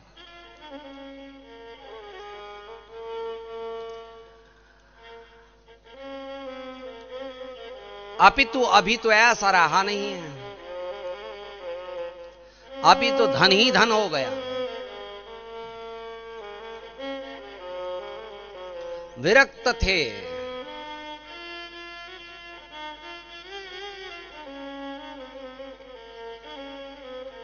दुनिया का कोई भी ऐसा, ऐसी वस्तु नहीं थी उनको, उनके प्रति वो आकर्षित हों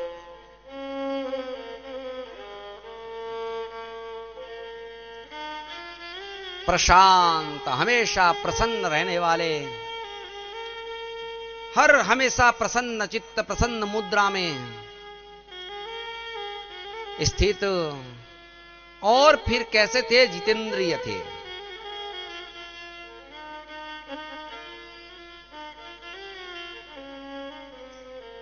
सभी इंद्रियों को अंतर्मुख कर रखा था उन्होंने।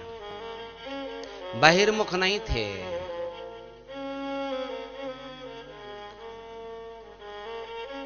ऐसे सुदामा का चरित्र आप सबने सुना है।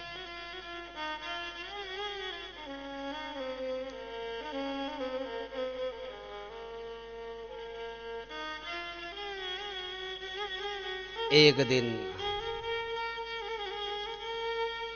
नित्य प्रति अपना गार्हस्थ जीवन को व्यतीत कर रहे थे।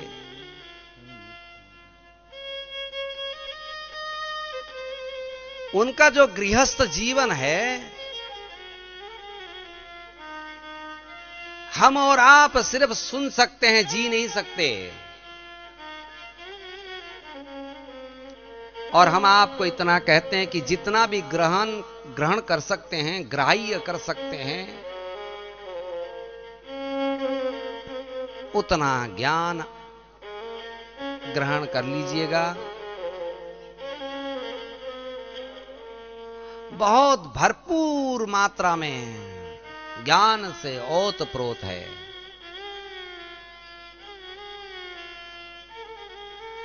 ऐसा जीवन जीते हुए भी डगमगाए नहीं, कभी भी नहीं।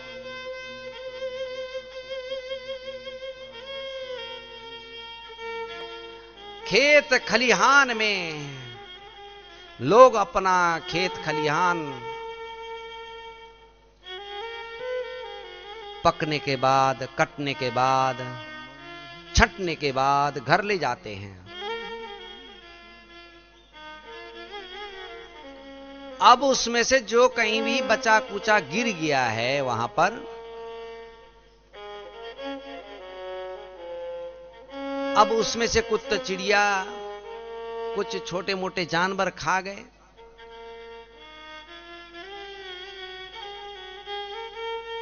अब जो बचा है, वही बिन बिन के ला के घर में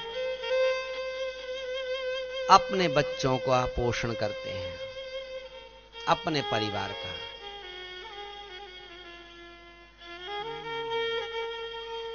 अब बताइए कि हम और आप में से कितने लोग ऐसा करते हैं? वे भी जी रहे थे, शान से जी रहे थे। कोई उनके जीवन में प्रश्न नहीं कर सकता। कोई भी प्रश्न नहीं उठा सकता कि वे ऐसा क्यों करते हैं। या उन्होंने ऐसा किया? उन्होंने क्या अनुचित काम किया हो।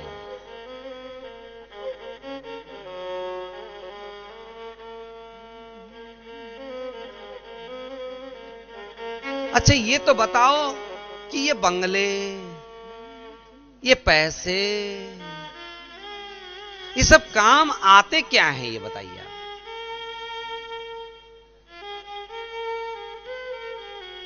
लोग सुबह से शाम तक संग्रह संग्रह संग्रह उसी में लगे रहते हैं।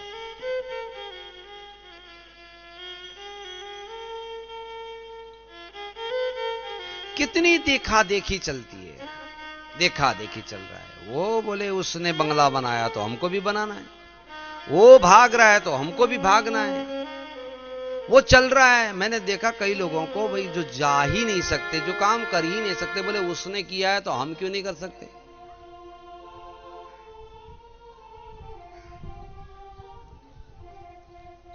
इसी होड़ में लगे हुए हैं सब। सबके सब लगे हुए हैं।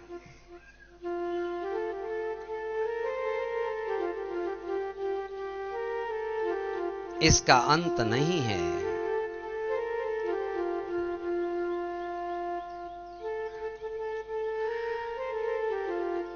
अच्छा ये भी बहुत ही स्वाभाविक है कि जितने गरीब हैं, वे सुदामा जैसे नहीं है।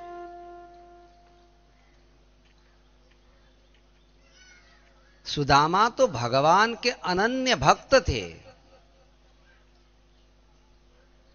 उन्हें किसी प्रपंच से कोई मतलब नहीं था।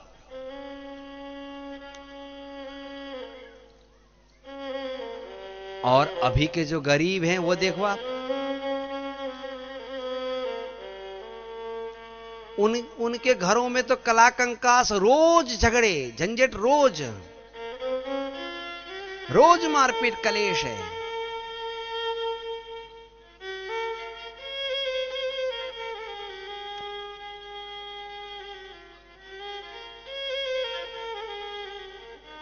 कभी कभी तो हम सुनते हैं तो हमें लगता है कि उनका आनंदोत्सव यही होगा।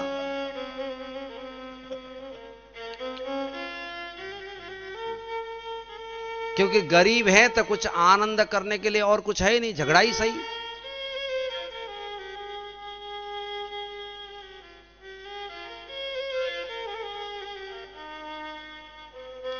तो ऐसे झगड़ा करते हैं। इसका कारण है अज्ञान। ब्राह्मणों ब्रह्मवित्तम का कहने में आया ना? क्योंकि सुदामा जी ज्ञानी थे। अगर वे भी अज्ञानी होते तो वे भी ऐसा ही चलता। रोज मारा मारी रोज झगड़ा।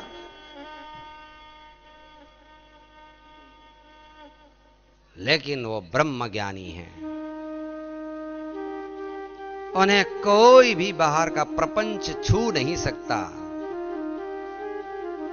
और ऐसे ब्रह्म ज्ञानी की धर्म पत्नी कैसी सुशीला? सुशील है, संस्कारी है। इतने दुख काटने पर भी कभी कभी प्रश्न नहीं उठाया। पूछने का हिम्मत नहीं किया। अभी आज तो कैसे बोल दिया? तेरे घर में खाना नहीं था, तब मुझे लाया ही क्यों था? इस झोपड़ी में रखना था, तब मेरे माँ बाप को बैला फुसला के तू लाया ही क्यों? ले तेरा ये ताम झाम मैं चली जाती हूँ। छोड़ देती। ऐसा नहीं किया, पति धर्म निभाया। पत्नी का जो धर्म होता है वो निभाया। और आज बोला जाए तो बोले पत्नी को कोई जकड़ के रखने वाली नहीं है, वस्तु नहीं है, कोई गुलाम नहीं है।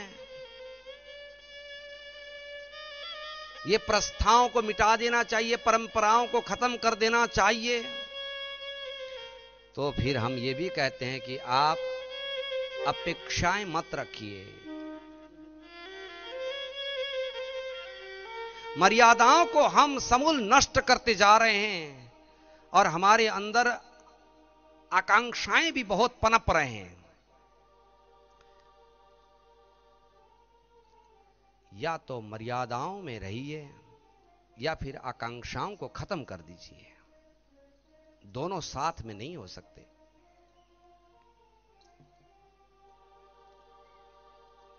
बच्चे भी थे उनके, कोई उत्पात नहीं मचाए, कोई झगड़ा नहीं।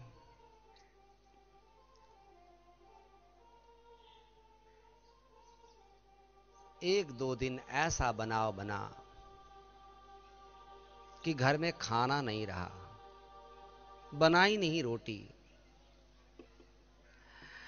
एक दो रोटी बनाते थे, चार दिन चलता था।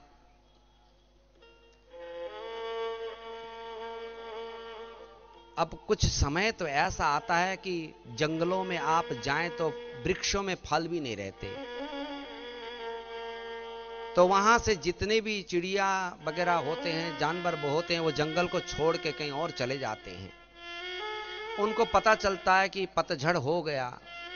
जब बसंत आए, बसंत ऋतु आएगी, तब हम आ जाएँगे। लेकिन वे कहाँ चले जाएँ? सुदामा का परिवार कहाँ जाए?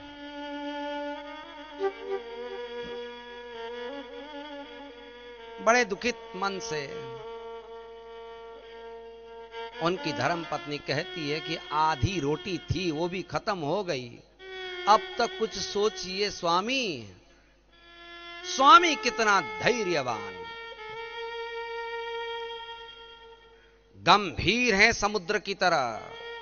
समुद्र चंचल हो जाए तो पृथ्वी को पूरा डुबो ले गंभीर होते हैं, बारंबार गंभीर सुनते हैं। अंदर जाते हैं, बाहर जाते हैं, सोचते हैं कि क्या किया जाए। कोई रास्ता तो मिलेगा। फिर रात्रि वेला व्यतीत हुई। दूसरी रात्रि पानी पी के बिताया। बच्चों ने कहा, माँ, भूख लगी है। दो तीन दिन हो गए, कुछ खाए नहीं। माता पिता तो पानी से ही चला रहे हैं, बच्चे से सहन नहीं हो रहा है। ये वृत्तियाँ कैसे आती हैं, ध्यान रखना आप। गमगीन होकर गंभीर चिंता में मत पड़िए, बस सिर्फ़ विश्लेषण करिए कि ये ये संस्कार कहाँ से आए। माता पिता ज्ञानी हैं और जब ज्ञानी होते हैं और संस्कारी होते हैं और विवेकी होते हैं और भक्त होते हैं तो उनको कोई डिगा नहीं सकता। किसी प्रकार का कोई प्रपंच हिला नहीं सकता, कोई विपत्ति उनको सता नहीं सकती।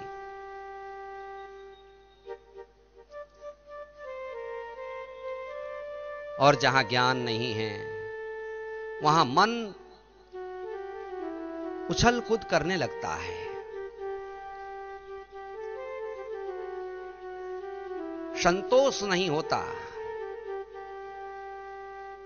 फिर वहाँ द्वेष दिखने, देख, दिखने लगता है। देखो, उसके घर में है, चलो, जाके मांग लेते हैं। अरे, मांगना क्या, चोरी कर लेते हैं?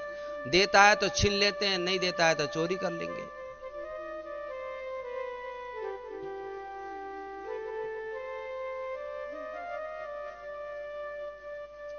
ऐसी वृत्ति अज्ञानियों और अहंकारियों में आ सकता है।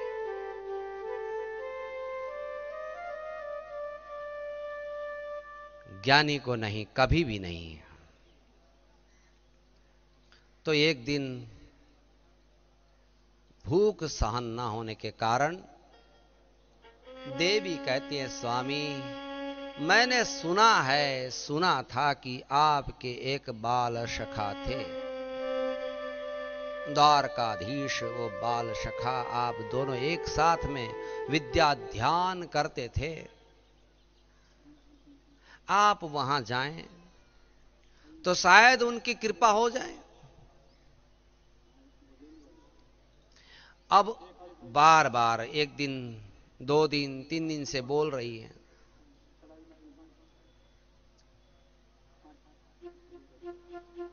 एक दो दिन तो अनसुना कर दिया। तीसरे दिन भगवान के बारे में विचार किया। सुदामा जी ने कि चलो, बहुत ज़्यादा कहती है तो जाकर देख लेते हैं। यही हरी इच्छा। और इसी बहाने शायद हरि के दर्शन भी हो जाएँगे। भगवान ने कहा कि कहीं जाते हैं तो देवी कुछ लेके जाना होता है। हमारे घर में तो कुछ है ही नहीं। क्या ले जाएँगे, बताइए आप? देवी ने कहा कि मैं व्यवस्था कर देती हूँ। आप चिंता ना करें। गाँव में दूर दराज कहीं दूसरों के घर थे, वहाँ गई। फटे पुराने कपड़े का टुकड़ा लेकर उसमें दो चार मुट्ठी, चिवड़ा, वो भी ऐसा मांगे कहीं टुकड़े, कहीं अलग अलग घर में से मांगे हुए। चार छह मुट्ठी चिवड़ा मिले, बड़ी मुश्किल से वे लेकर सुदामा जी द्वारका की तरफ़ प्रयाण करते हैं। पैर में चप्पल नहीं है। बिना पादुका खुले पाँव चलते हैं और रंगे पाँव चलते चलते चलते। पैर के जो तलिए हैं, वो फट गए हैं और वहाँ से खून बहता है। रक्तों की धारा बह रहे हैं और भगवान द्वारकाधीश को पीड़ा होता है। वहाँ बैठे बैठे उनको पीड़ा हो रहा है कि मेरे भक्तों को इतनी पीड़ा सहन। मेरा भक्त मुझ तक पहुँचने के लिए इतनी पीड़ा सहन करता हुआ आ रहा है। धन्य है उस भक्त को।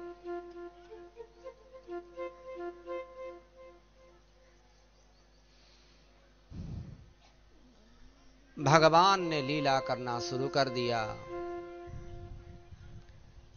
एक जगह पीपल के वृक्ष के नीचे बैठ गए थे।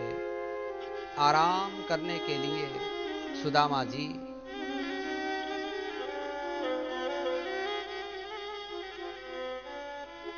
घड़ी दो घड़ी आँख क्या लग गई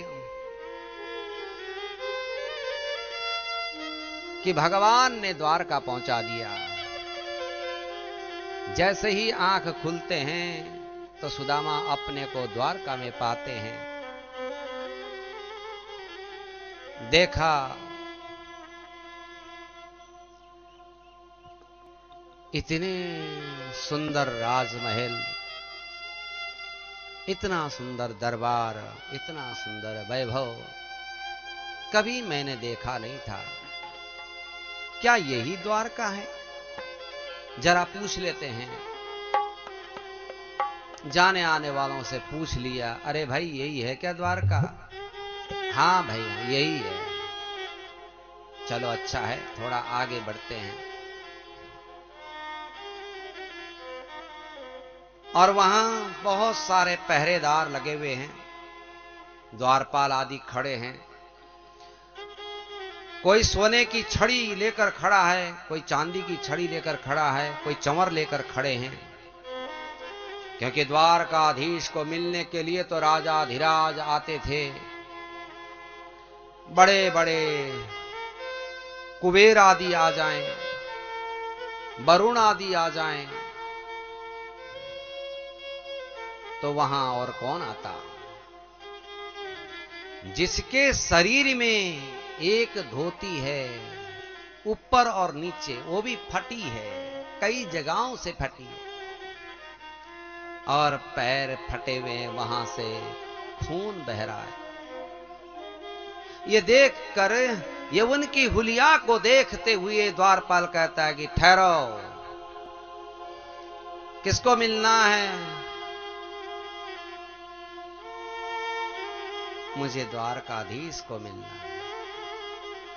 अरे जरा वहाँ बैठ जाओ अभी। ऐसे लोगों को थोड़ी मिलते हैं द्वारकाधीश।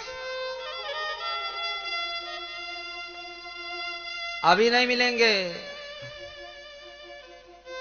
आराम में हैं। ऐसे अनेका अनेक बहाना बताते हैं।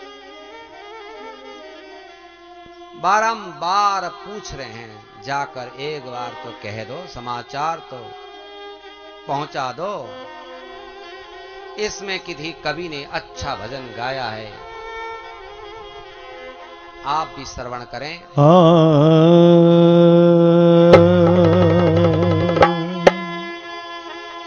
हे। काची छे आकाया। सिद्ध करे छे माया। માયા હે દુનિયાના રંગ દેખી બલ ભલા ભરમાયા देखो देखो ये गरीबी ये गरीबी कहा कृष्ण के दर पे विश्वास लेके आया हूँ मेरे बचपन का यार है मेरा श्याम। यही सोच कर मैं आश लेके आया हूँ। अरे द्वार पालो, कन्हैया से कह दो। अरे द्वार पालो, कन्हैया से कह दो। कि दर पे सुदामा गरीब आ गया है। कि दर पे सुदामा गरीब आ गया है। भटकते भटकते न जाने कहाँ से। भटकते भटकते न जाने कहाँ से। तुम्हारे महल के करीब आ गया है। तुम्हारे महल के करीब आ गया है। अरे द्वार पालो कन्हैया से कह दो कि दर पे सुदामा गरीब आ गया है।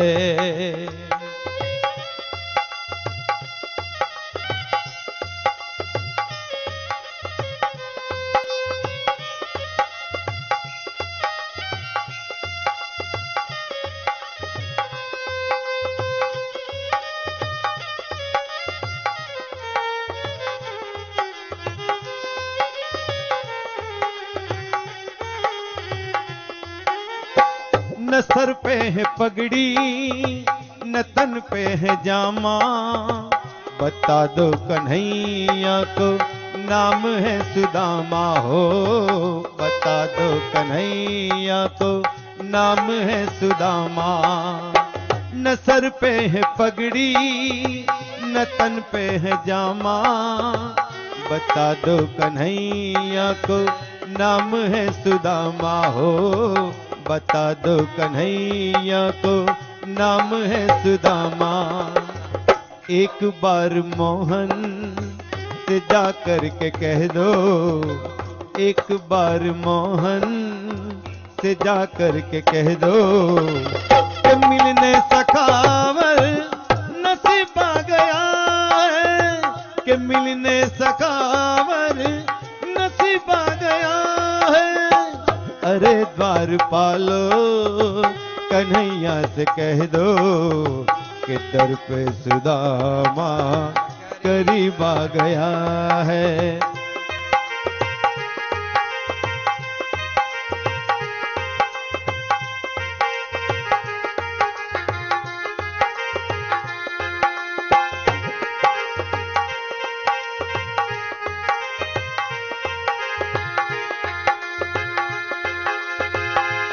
सुनते ही दौड़े, चले आए मोहन, लगाया गले से। सुदामा को मोहन हो, लगाया गले से। सुदामा को मोहन सुनते ही दौड़े, चले आए मोहन, लगाया गले से। सुदामा को मोहन हो, लगाया गले से। सुदामा को मोहन हुआ रुक्मणी को, बहुत ही अचंबा। हुआ रुक्मणी को, बहुत ही अचंबा। ये मेहमान कैसा अजीब गया है। ये मेहमान कैसा અજીબા ગયા હે આજે પૂર્ણાહુતિ છે એટલે જરા બધા ઊભા થઈને ભગવાનને ભજી લો હરિરસ પી લો આ લાવો ફરીથી ક્યારે મળશે ખબર નથી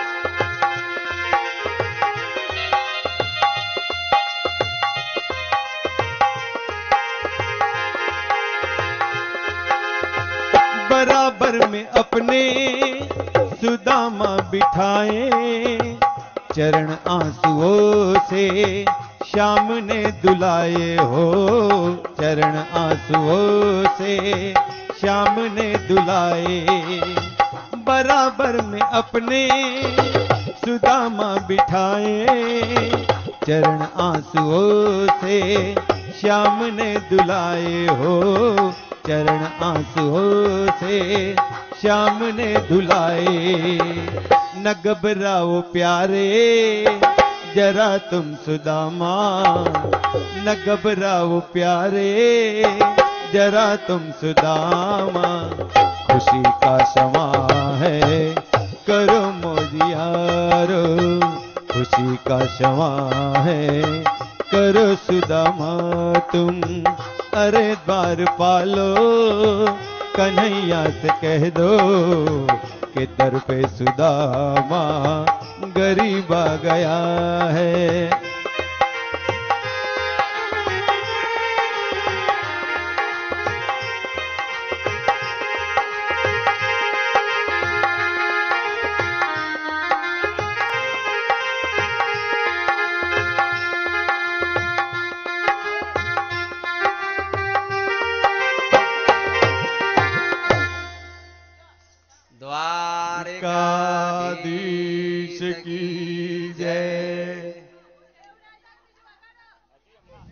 अब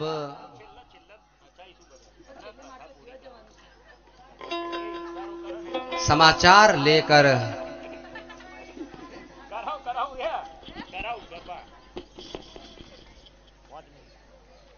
द्वारपाल अंदर जाते हैं।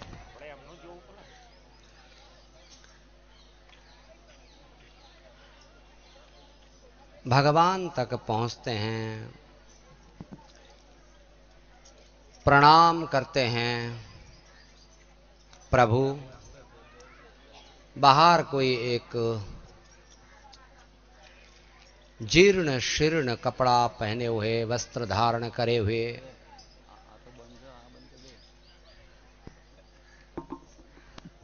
ब्राह्मण खड़े हैं और वे कहते हैं अपने को सुदामा, और वो आपसे मिलना चाहते हैं। सुदामा जैसे ही नाम भगवान के कान में पड़े,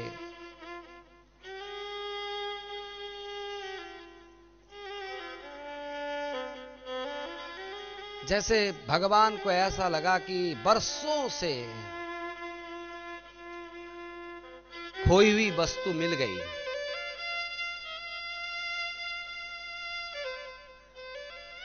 कई वर्षों से जिनकी तलाश में हम लोग आतुर होते हैं, ऐसे आतुरता से भगवान आते हैं। न पितांबर का ध्यान है भगवान को, न पगड़ी का ध्यान है। सहसा दौड़ते चले आते और ऐसे भेंटते हैं जैसे जन्म जन्मांतर से प्यासे हों। मिलने के लिए। ये आतुरता मिलन की और हृदय से चांपते हुए अंदर ले जाते हुए, आइए भूदेव, आइए मित्र मेरे। अपने कक्ष में ले जाते हैं और जहाँ खुद स्वयं विराजमान थे, जिस झूला पर, जिस सिंहासन पर वहाँ विराजित करते हैं सुदामा को। और भगवान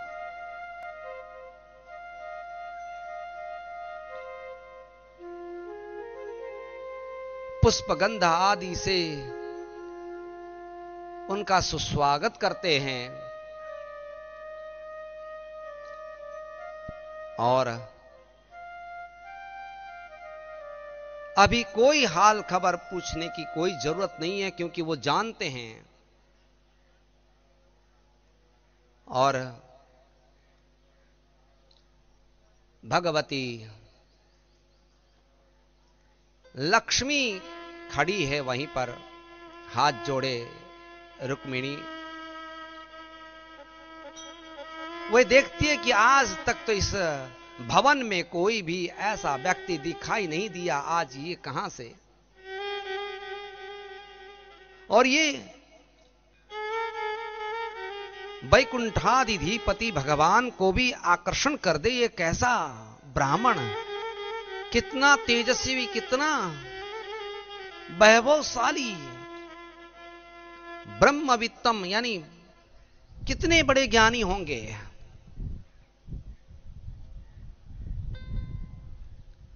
कुछ न कुछ तो विशेषता है।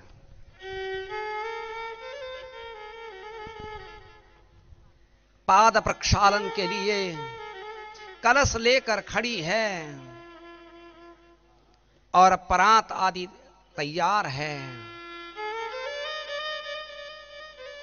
जो पात्र में, जिस पात्र में उनके पाद प्रक्षालन करने थे जल लेकर रुक्मिणी खड़ी है। भगवान ने देखा कि मेरे मित्र के पैर फटे हैं और उसमें से रक्त बह रहा है और उन्होंने कोई भी, किसी भी प्रकार से दुखित ना होते हुए मुझ तक पहुँचे। और मेरे लिए इतना कष्ट काटा, मेरे नाम उच्चारण करते करते और मुझे कहा भी नहीं कभी मुझसे मांगा भी नहीं, कोई मदद नहीं मांगी। धन्य है मेरे भक्त, धन्य है मेरे मित्रों। ऐसे अश्रु धारा बहाते हुए भगवान ने अपने अश्रुओं से पाद प्रक्षालन किया है। ये है भक्त की महानता, जो भगवान को भी रोने के लिए बाध्य कर दे। ये भक्त की महिमा है।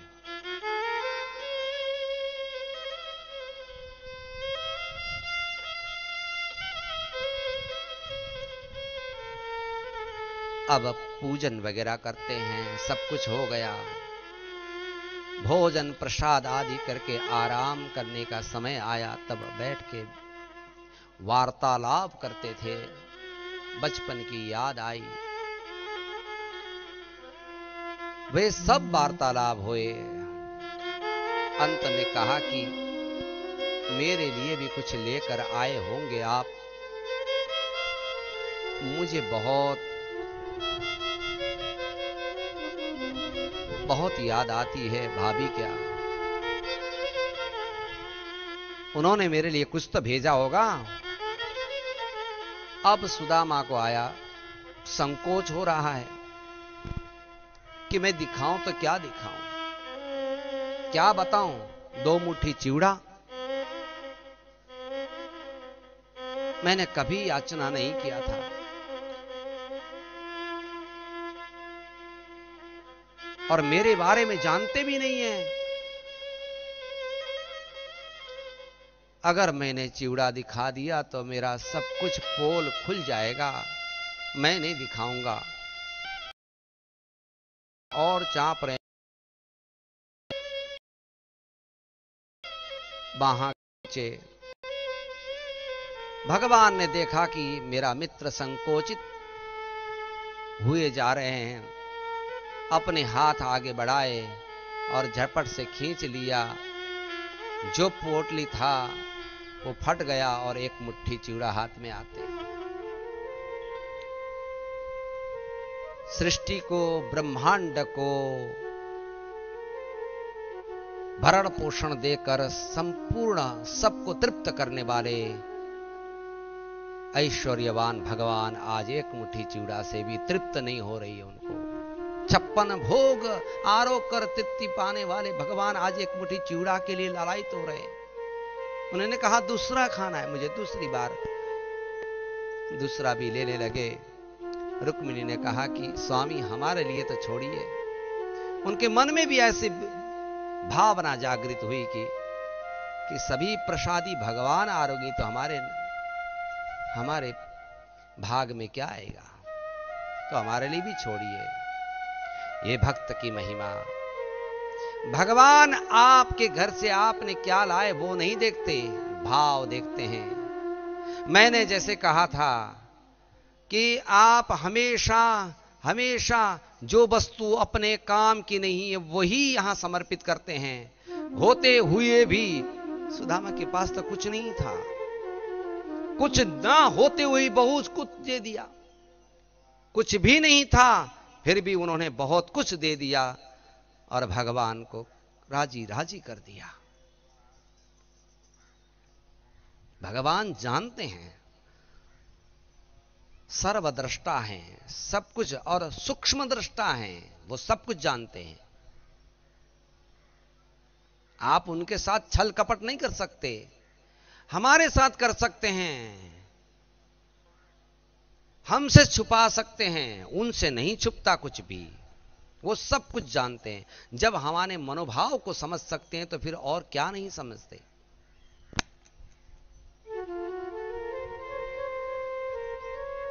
सब लोगों ने प्रसाद ग्रहण किया। रात्रि वेला विश्राम करते हैं। भगवान उनकी सेवा करते हैं। इतने दूर से आए हैं मेरे शखा, थक गए हैं। उसी समय वार्तालाप होती है। भगवान कहते हैं कि सुदामा, मित्र, आपका घर बार सब सही तो चल रहा है? बोले, हाँ, लाला, सब कुछ सही चल रहा है, द्वारकाधीश। बोले, तुम्हारा कैसा चलता है? ये जितने भी दिखाई दे रहे हैं, ये सब कौन है? सुना है, आपने तो बहुत सारे शादियाँ किया है। बोले हाँ बहुत सारे कुछ अपने आप ही प्राप्त हो गए। कुछ को युद्ध के द्वारा जीत के लाना पड़ा और कुछ मुझे मन ही मन अपना पति स्वीकार करती रही, इसलिए ये सब प्रक्रिया होता रहा। ठीक है, लाला। बहुत अच्छा है, द्वारकाधीश। आपका महिमा आपकी जो महिमा है वो बहुत बड़ी है। सुबह मंगलमय बेला में सुदामा विदाई लेते हैं, कहते हैं, अब मैं चलता हूँ। बहुत समय व्यतीत हुआ है। वहाँ सब मेरा इंतज़ार करते हैं। मैं जाता हूँ। बोले, अभी रहो ना, दो चार दिन और रह जाओ। एक महीना रह जाओ। मैं सेवा के लिए तत्पर हूँ। सुदामा ने कहा, नहीं नहीं, बच्चे याद करते होंगे। तुम्हारी भाभी चिंतित होगी, मैं जाता हूँ। ठीक है, आपकी जैसी इच्छा। थोड़ा दूर तक मैं भी चलता हूँ छोड़ने तो भगवान थोड़ा दूर तक छोड़ के वापिस आते हैं। सुदामा के हृदय में भाव ऐसा था कि कुछ न कुछ प्राप्त तो हो जाता तो मैं सुशीला को कुछ कह दे पाता। अब ऐसे ही चल दिए, सोचा हरी इच्छा, जैसे उनकी भावना, अब क्या कर सकते हैं? अब कोई बात नहीं। मेरे लिए जो सुखकर होगा, वही उनकी इच्छा। जो करते हैं, भगवान अच्छाई के लिए करते हैं, ऐसा सोच के चले गए। क्यों नहीं दिया? ये भाव नहीं आया। दिया होता तो ठीक था, लेकिन प्रश्न नहीं उठाया। चले गए। भगवान भक्तों के मन को जानते हैं, भावनाओं को जानते हैं। जैसे ही अपने नगर को पहुँचे, वहाँ देखा, वहाँ संपूर्ण भवन सोने के बने हुए हैं, सर्वोपरि मिल गया। उसके बाद वो देखा कि मेरी कुटिया कहाँ है, कुछ अता पता नहीं है। सुशीला बच्चों के साथ सुस्वागत कर रही है। पूछने लगे, कहाँ गया कुटिया? तो द्वारपाल आदि बोलते हैं कि, आप कौन हो, कहाँ जाना है? बोले, मैं सुदामा मद्वार का यात्रा में गया था। ओ हो हो हो। जाकर कहा सुशीला को कि आ गए, महाराज जी आ गए हैं, ले जाओ। खुश हो गई, धन्य हो गई, धन्य हो गई, आपका जाना सफल हो गया। कृतार्थ कर दिया हम सबको, द्वारकाधीश ने। धन्यता का अनुभव करके अंदर ले गई। सुदामा जी को तनिक भी आनंदित नहीं हुए। उनको लगा कि ये सब कुछ वैभव जो है दुख का कारण है, क्योंकि वहाँ भजन तो है ही नहीं। कोई मिलने वाले आ रहे हैं, कोई मित्रगण आ गए, कोई ये आ गए, कोई आ गए, उसी में ही समय व्यतीत हो रहा है। इतना साम्राज्य प्रपंच देख कर वही आहत हो गए कि ये क्या हो गया? मैंने तो मांगा नहीं था, ये तो द्वारकाधीश की लीला है, मुझे नहीं चाहिए। मैं ऐश्वर्या, ऐश्वर्य का भूखा नहीं था, द्वारकाधीश मुझे नहीं चाहिए। और ऐसा सुख किस काम का जो आपके नाम लेने में बाधा डाले? ये सुख नहीं चाहिए, उसी क्षण त्याग दिया और चल गए। वहाँ से चल दिए, उसी क्षण त्याग दिया। और चल गए। अब इधर भगवान सपरिवार कुरुक्षेत्र की ओर प्रस्थान करते हैं। सूर्य ग्रहण का समय आया, वहाँ स्नान ध्यान कर रहे हैं। पूरा मेला जमा हुआ है वहाँ पर। वृंदावन, मथुरा से सभी लोग आए हुए हैं। नंद बाबा आए, यशोदा मैया आई। सब लोगों का वहाँ मिलना हुआ। आपस में सब मिलना मिलाना, सब लोग बातचीत वगैरह मुलाकात कर रहे हैं। उसी समय द्रौपदी ने श्री कृष्ण की पत्नियों से प्रश्न किया, मुझे तो कृष्ण ने ऐसे जीता था, ऐसा लाए थे, इस आप लोगों को कैसे ले आए? कृष्ण बताया।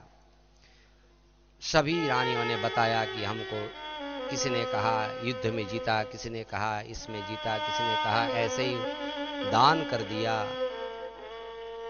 इसलिए हम लोग आई हैं। बड़े भाग हैं हमारे। हम स्वामी की सेवा में तत्पर हैं। आपस में वार्तालाप हुआ। उसी समय वसुदेव जी ने एक महान यज्ञ किया। और उसमें बंधु बांधवों का आगमन हुआ, सभी मित्रों का आगमन हुआ। यहाँ भी आज महाविष्णु यज्ञ का सुंदर सुचारू रूप से आयोजन हो रहा है, जिसमें ओम नमो भगवते वासुदेवाय स्वाहा इत्यादि। भगवान श्री ने समझा कि अब अपने पिता करना चाहिए।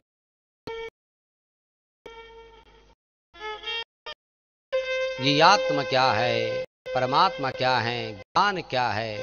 अज्ञान क्या है? इसके बारे में वसुदेव जी को बताते हैं भगवान।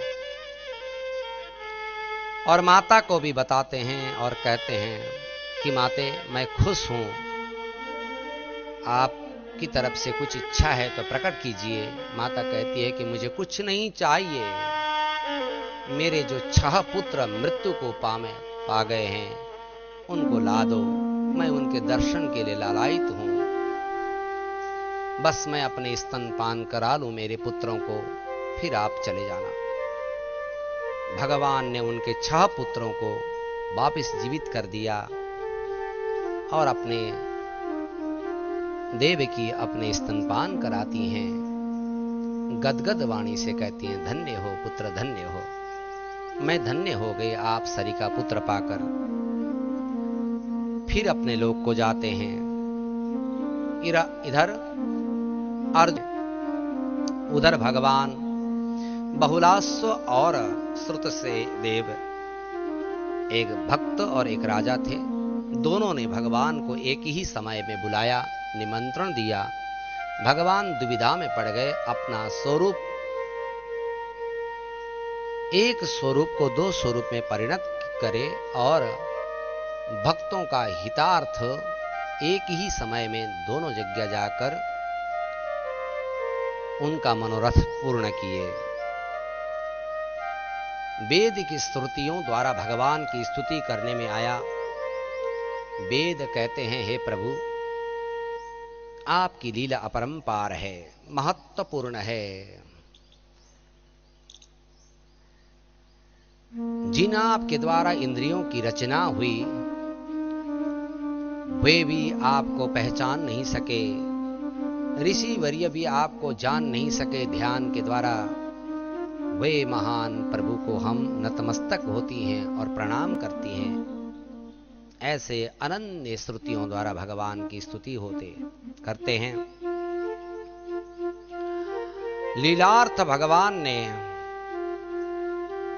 भस्मासुर का वध किया। और फिर सभी ऋषि मुनि एकत्रित हुए और कहा कि वे तीनों देव, ब्रह्मा, विष्णु, महेश में महान कौन है, इसका निर्णय कौन लेगा? तब सभी ऋषि मुनि मिलकर भृगु जी को भेजा गया कि आप जाओ और तीनों भगवान का परीक्षा ले लो। और ऐसे सताओ कि सबसे अधिक क्रोधित कौन होता है? देखते हैं। अब जिनको क्रोध में ही पकड़ नहीं है, क्रोध को ही शांत नहीं कर सकते हाँ? काम, क्रोध, लोभ, मोह, इन सबको सही तरीके से दमन ना किया हो, वो पूजा के अधिकारी कैसे हो सकते हैं? भृगु जी महाराज गए। सर्वप्रथम ब्रह्मा जी को प्रणाम किए बिना ही बैठ गए।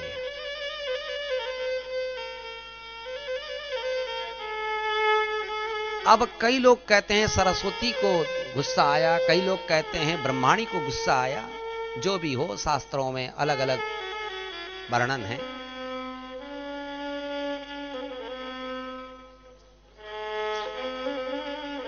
कि असंस्कारी ब्राह्मण देखो, प्रभु के पास आया और नमस्कार करे बिना ही बैठ गया।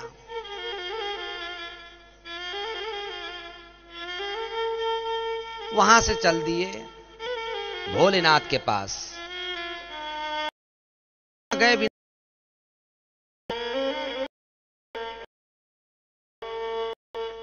गढ़ा उखाड़ कर नीचे रख दिया और बैठ गए। ना कोई नमस्कार है, ना कोई बंधन है, ना कोई स्तुति है। वहाँ भी भोलेनाथ।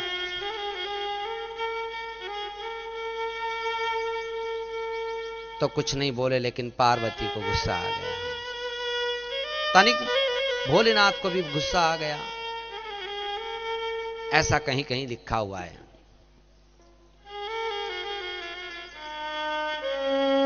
अब वैकुंठ में चले गए। वहाँ सीधे जाकर नारायण के छाती में लात मार दिया। नारायण खड़े होकर कहते हैं कि प्रभु भूदेव, हे ब्रह्म देवता, हे ब्राह्मण देवता, आपके कोमल पाद को कहीं क्षति तो नहीं पहुँचा? कुछ नुकसान तो नहीं हुआ? मेरा कठोर छाती आपको लगा तो नहीं? गद गद हो गए भृगु जी धन्य हो गए। उधर पार्वती ने उनको साफ़ दे दिया, जाओ। तुम लक्ष्मी के लिए दर दर भटकोगे, तुम्हारे पास लक्ष्मी नहीं रहेगी।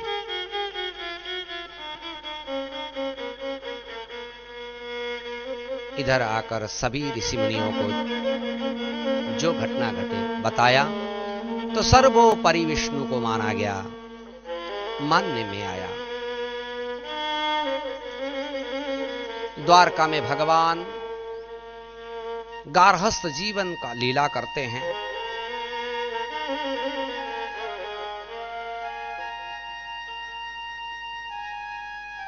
अप्राकृतिक लीला में आनंद है और वहाँ कुरुरी की तरह सभी रानियाँ गाती हैं, कोसती हैं, सुबह के चहकते हुए चिड़ियाओं को के सोने दो। शांति लेने दो, ऐसा कहती है। अब इधर भगवान के बालक सांब आदि ऋषि मुनियों के परीक्षार्थ अपने पेट में कुछ बाँध कर जाते हैं और परीक्षा लेने लगते हैं। ऋषि मुनि को कहते हैं, प्रणाम ऋषिवर्य ये शाम्ब के इस बालिका के पेट में कुछ है। आप बताइए, क्या हो सकता है? आप लोग तो सभी अंतर्यामी हैं। इसमें से शिक्षा है कि किसी किसी का भी आप हँसी मज़ाक ना करें। आजकल तो क्या है, लोग मज़ाक मज़ाक में न जाने क्या क्या बोल देते हैं।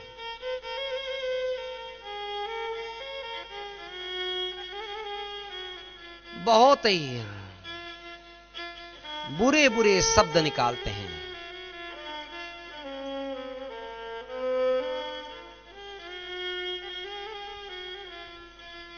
वे लोग तो साक्षात भगवान थे, इसलिए परिणाम तुरंत निकला। हम लोग तो भगवान नहीं हैं। आज अगर आप कुछ करते हैं तो जन्म जन्मांतर भोगना पड़ेगा। मानो या ना मानो यह निश्चित है।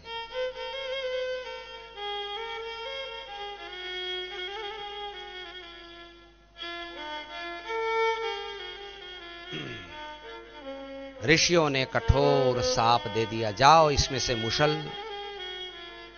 पैदा होगा। अब मुसल होता है लोहा का, जाकर उग्र को कर, पीस कर, चूर्ण बना के समुद्र में डाल दिया। एक आदि टुकड़ा बचा था।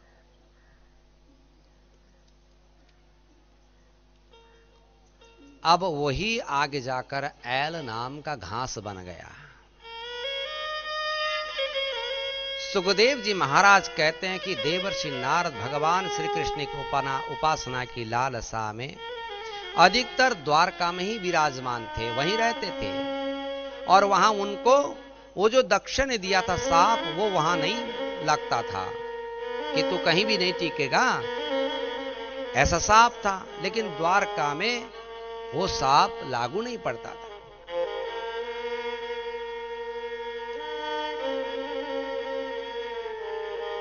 देवर्षि नारद वहीं पर विराजमान हैं। एक दिन वसुदेव जी ने पूछ दिया, धर्म क्या है?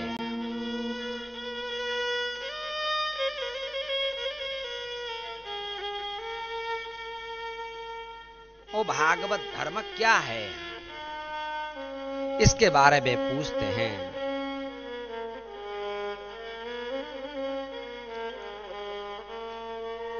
जिस धर्म को श्रद्धा पूर्वक श्रवण करने से संसार के सभी जीव बंधन मुक्त हो जाए, ऐसा कुछ सुनाइए गुरुवर्य।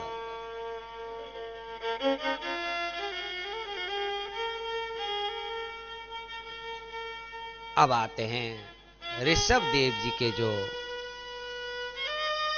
सौ पुत्र में से जो नौ पुत्र थे, वो नौ सिद्धेश्वर बने थे, योगेश्वर।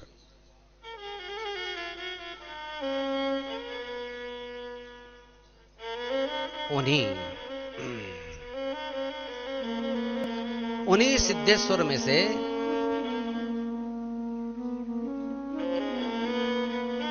कवि नाम के पहले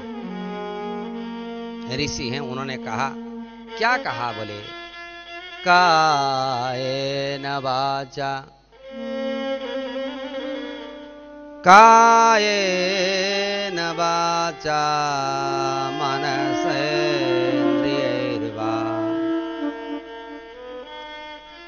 ये तो सबको आता है, बोलो तो सही।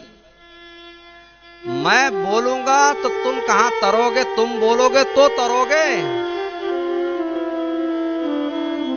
मैं बोलूँगा तो मैं ही तरूँगा।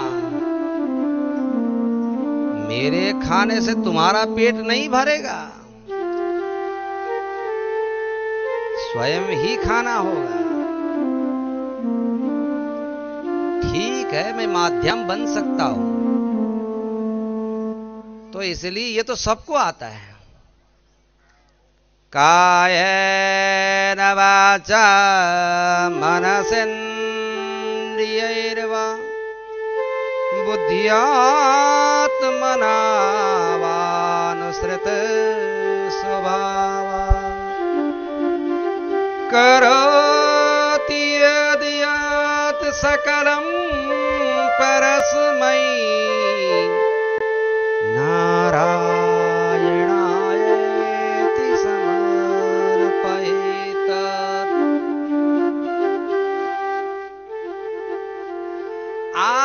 जगत में जो भी क्रियाएँ करते आए, आज तक सोचना, जितने भी पाप मन वाणी कर्म बंधन जिनसे भी आपके द्वारा हुआ, जैसे भी हुआ सब कुछ भगवान को सौंप दो।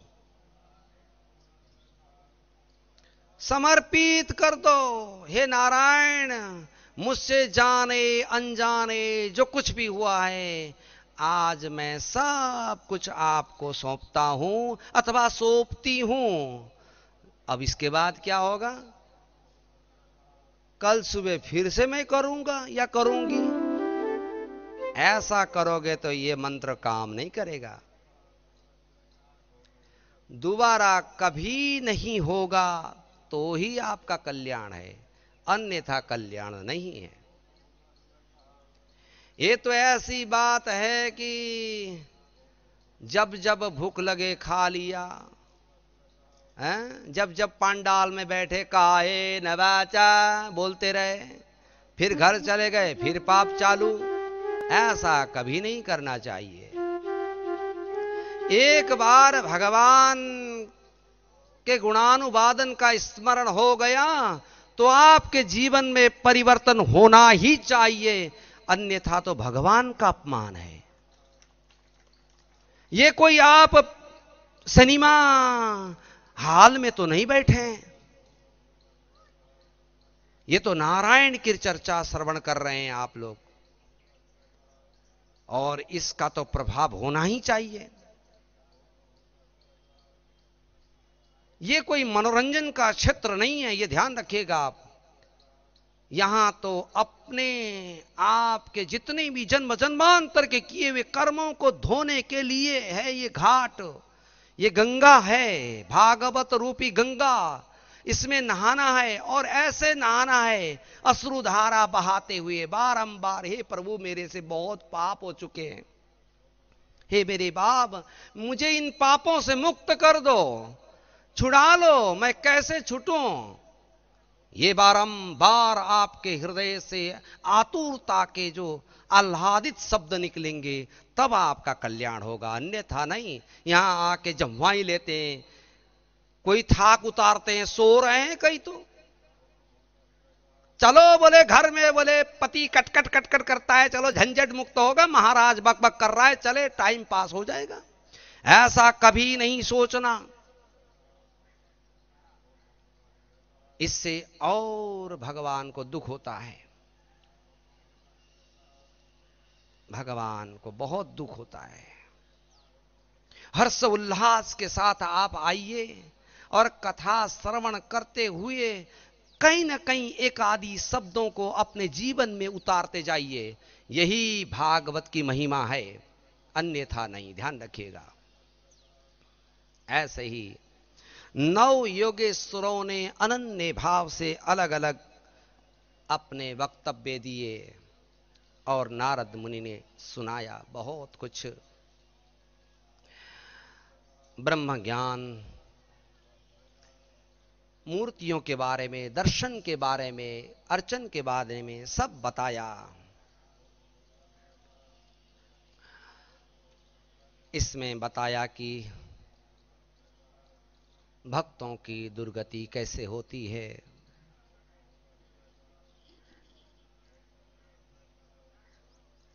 और समय व्यतीत होते कहते हैं कि इसलिए हे राजन, सर्वथा भगवान के शरण ग्रहण करना चाहिए। और किसी के शरण जाने जैसा नहीं है। सुखदेव जी कहते हैं, हे राजन, यह रहस्य सुनकर वसुदेव जी को बड़ा आश्चर्य हुआ। और उनका जो अज्ञान था, वो नष्ट हो गया। और प्रसन्न चित्त हो गए, बहुत आनंदित हो गए, और भक्ति करना भी चाहिए। जैसे गोपियाँ नाची थी, यहाँ भी कुछ भक्त ऐसे हैं जो नाचना चाहते हैं। हमें बड़ा आनंद आता है कि कि भक्तों की कुछ इच्छाएँ हो और भगवान पूरी ना करें तो कितना दुख होगा। तो ज़रूर पूरी की जाए भगवान की ओर से। हम कहते हैं कि देखो भजन ही होना चाहिए उसमें, बहुत उत्तम भजन है। बहुत सुंदर भजन के भाव से भग भक्त कहते हैं। हम्म? इतना आनंद, इतना आनंदित होते हैं कि अपने सुदबुद खो देते हैं। ऐसा आनंद तो कभी नहीं देखने मिला।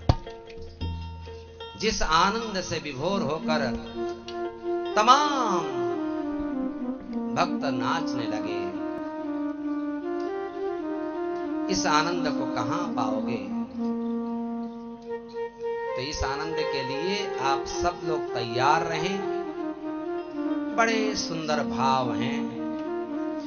मिला बाके बिहारी का प्यार। मिला बाके बिहारी का प्यार। नाचो सखी झूम झूम के। मिला बाके बिहारी का प्यार। नाचो सखी झूम झुम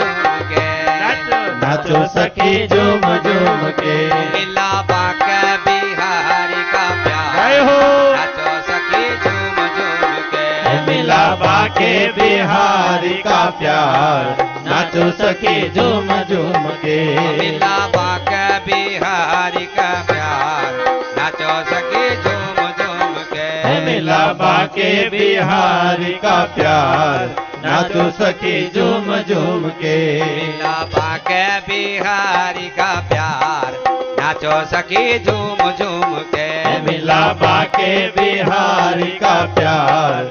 नाचो सखी झूम झूम के। पाके बिहारी का प्यार। नाचो सखी झूम झूम के। मिला पाके बिहारी का प्यार।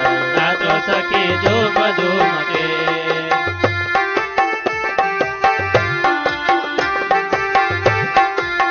એ કોઈ કહેજો કાનુડાને જઈ કે વાહડી વગાડે નહીં.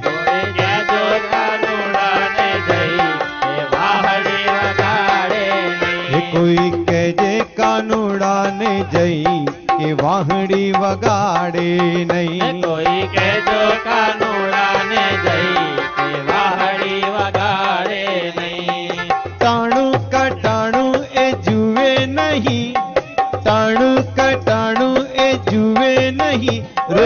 આવે વાહલડી લઈ લઈ લઈ. કહેજો કાનુડા ને જઈ કોઈ કહેજો કાનુડા ને જઈ કે વાહડી વગાડે નહીં. કોઈ કહેજો કાનુડા ને જઈ કે વાહડી વગાડે નહીં. કોઈ કહેજો કાનુડા ને જઈ કે વાહડી વગાડે નહીં કોઈ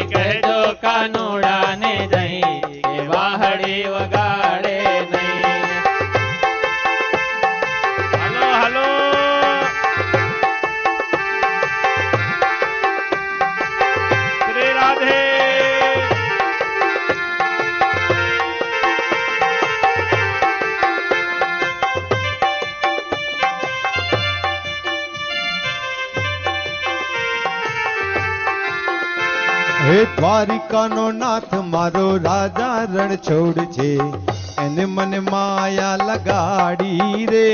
હે દ્વારિકાનો નાથ મારો રાજા રણ છોડ છે એને મને માયા લગાડી રે. હે દ્વારિકાનો નાથ મારો રાજા રણ છોડ છે એને મને માયા લગાડી રે. હે દ્વારિકાનો નાથ મારો રાજા રણ છોડ છે તમે મને માયા લગાડી મારા વાલા. તમે મને માયા લગાડી મારા વાલા. તમે મને માયા લગાડી મારા વાલા. તમે મને માયા લગાડી મારા વાલા. એને મને માયા લગાડી રે. એને મને માયા લગાડી રે. ગાયોનો ગોવાડ મારો રાજા રણ છોડ છે. એને મને માયા લગાડી રે. ગાયોનો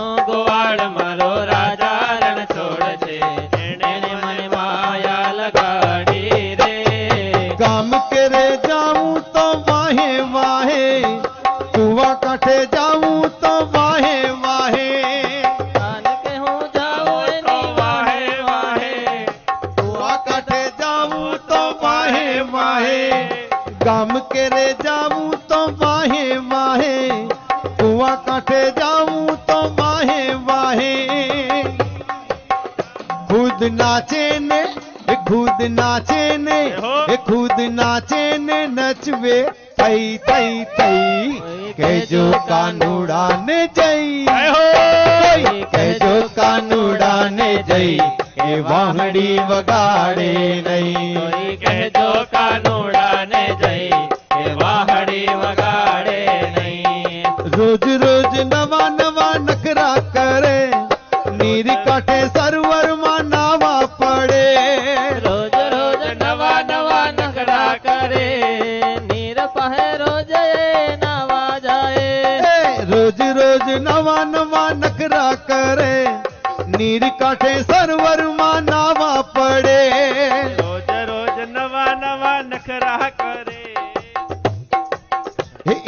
क्यों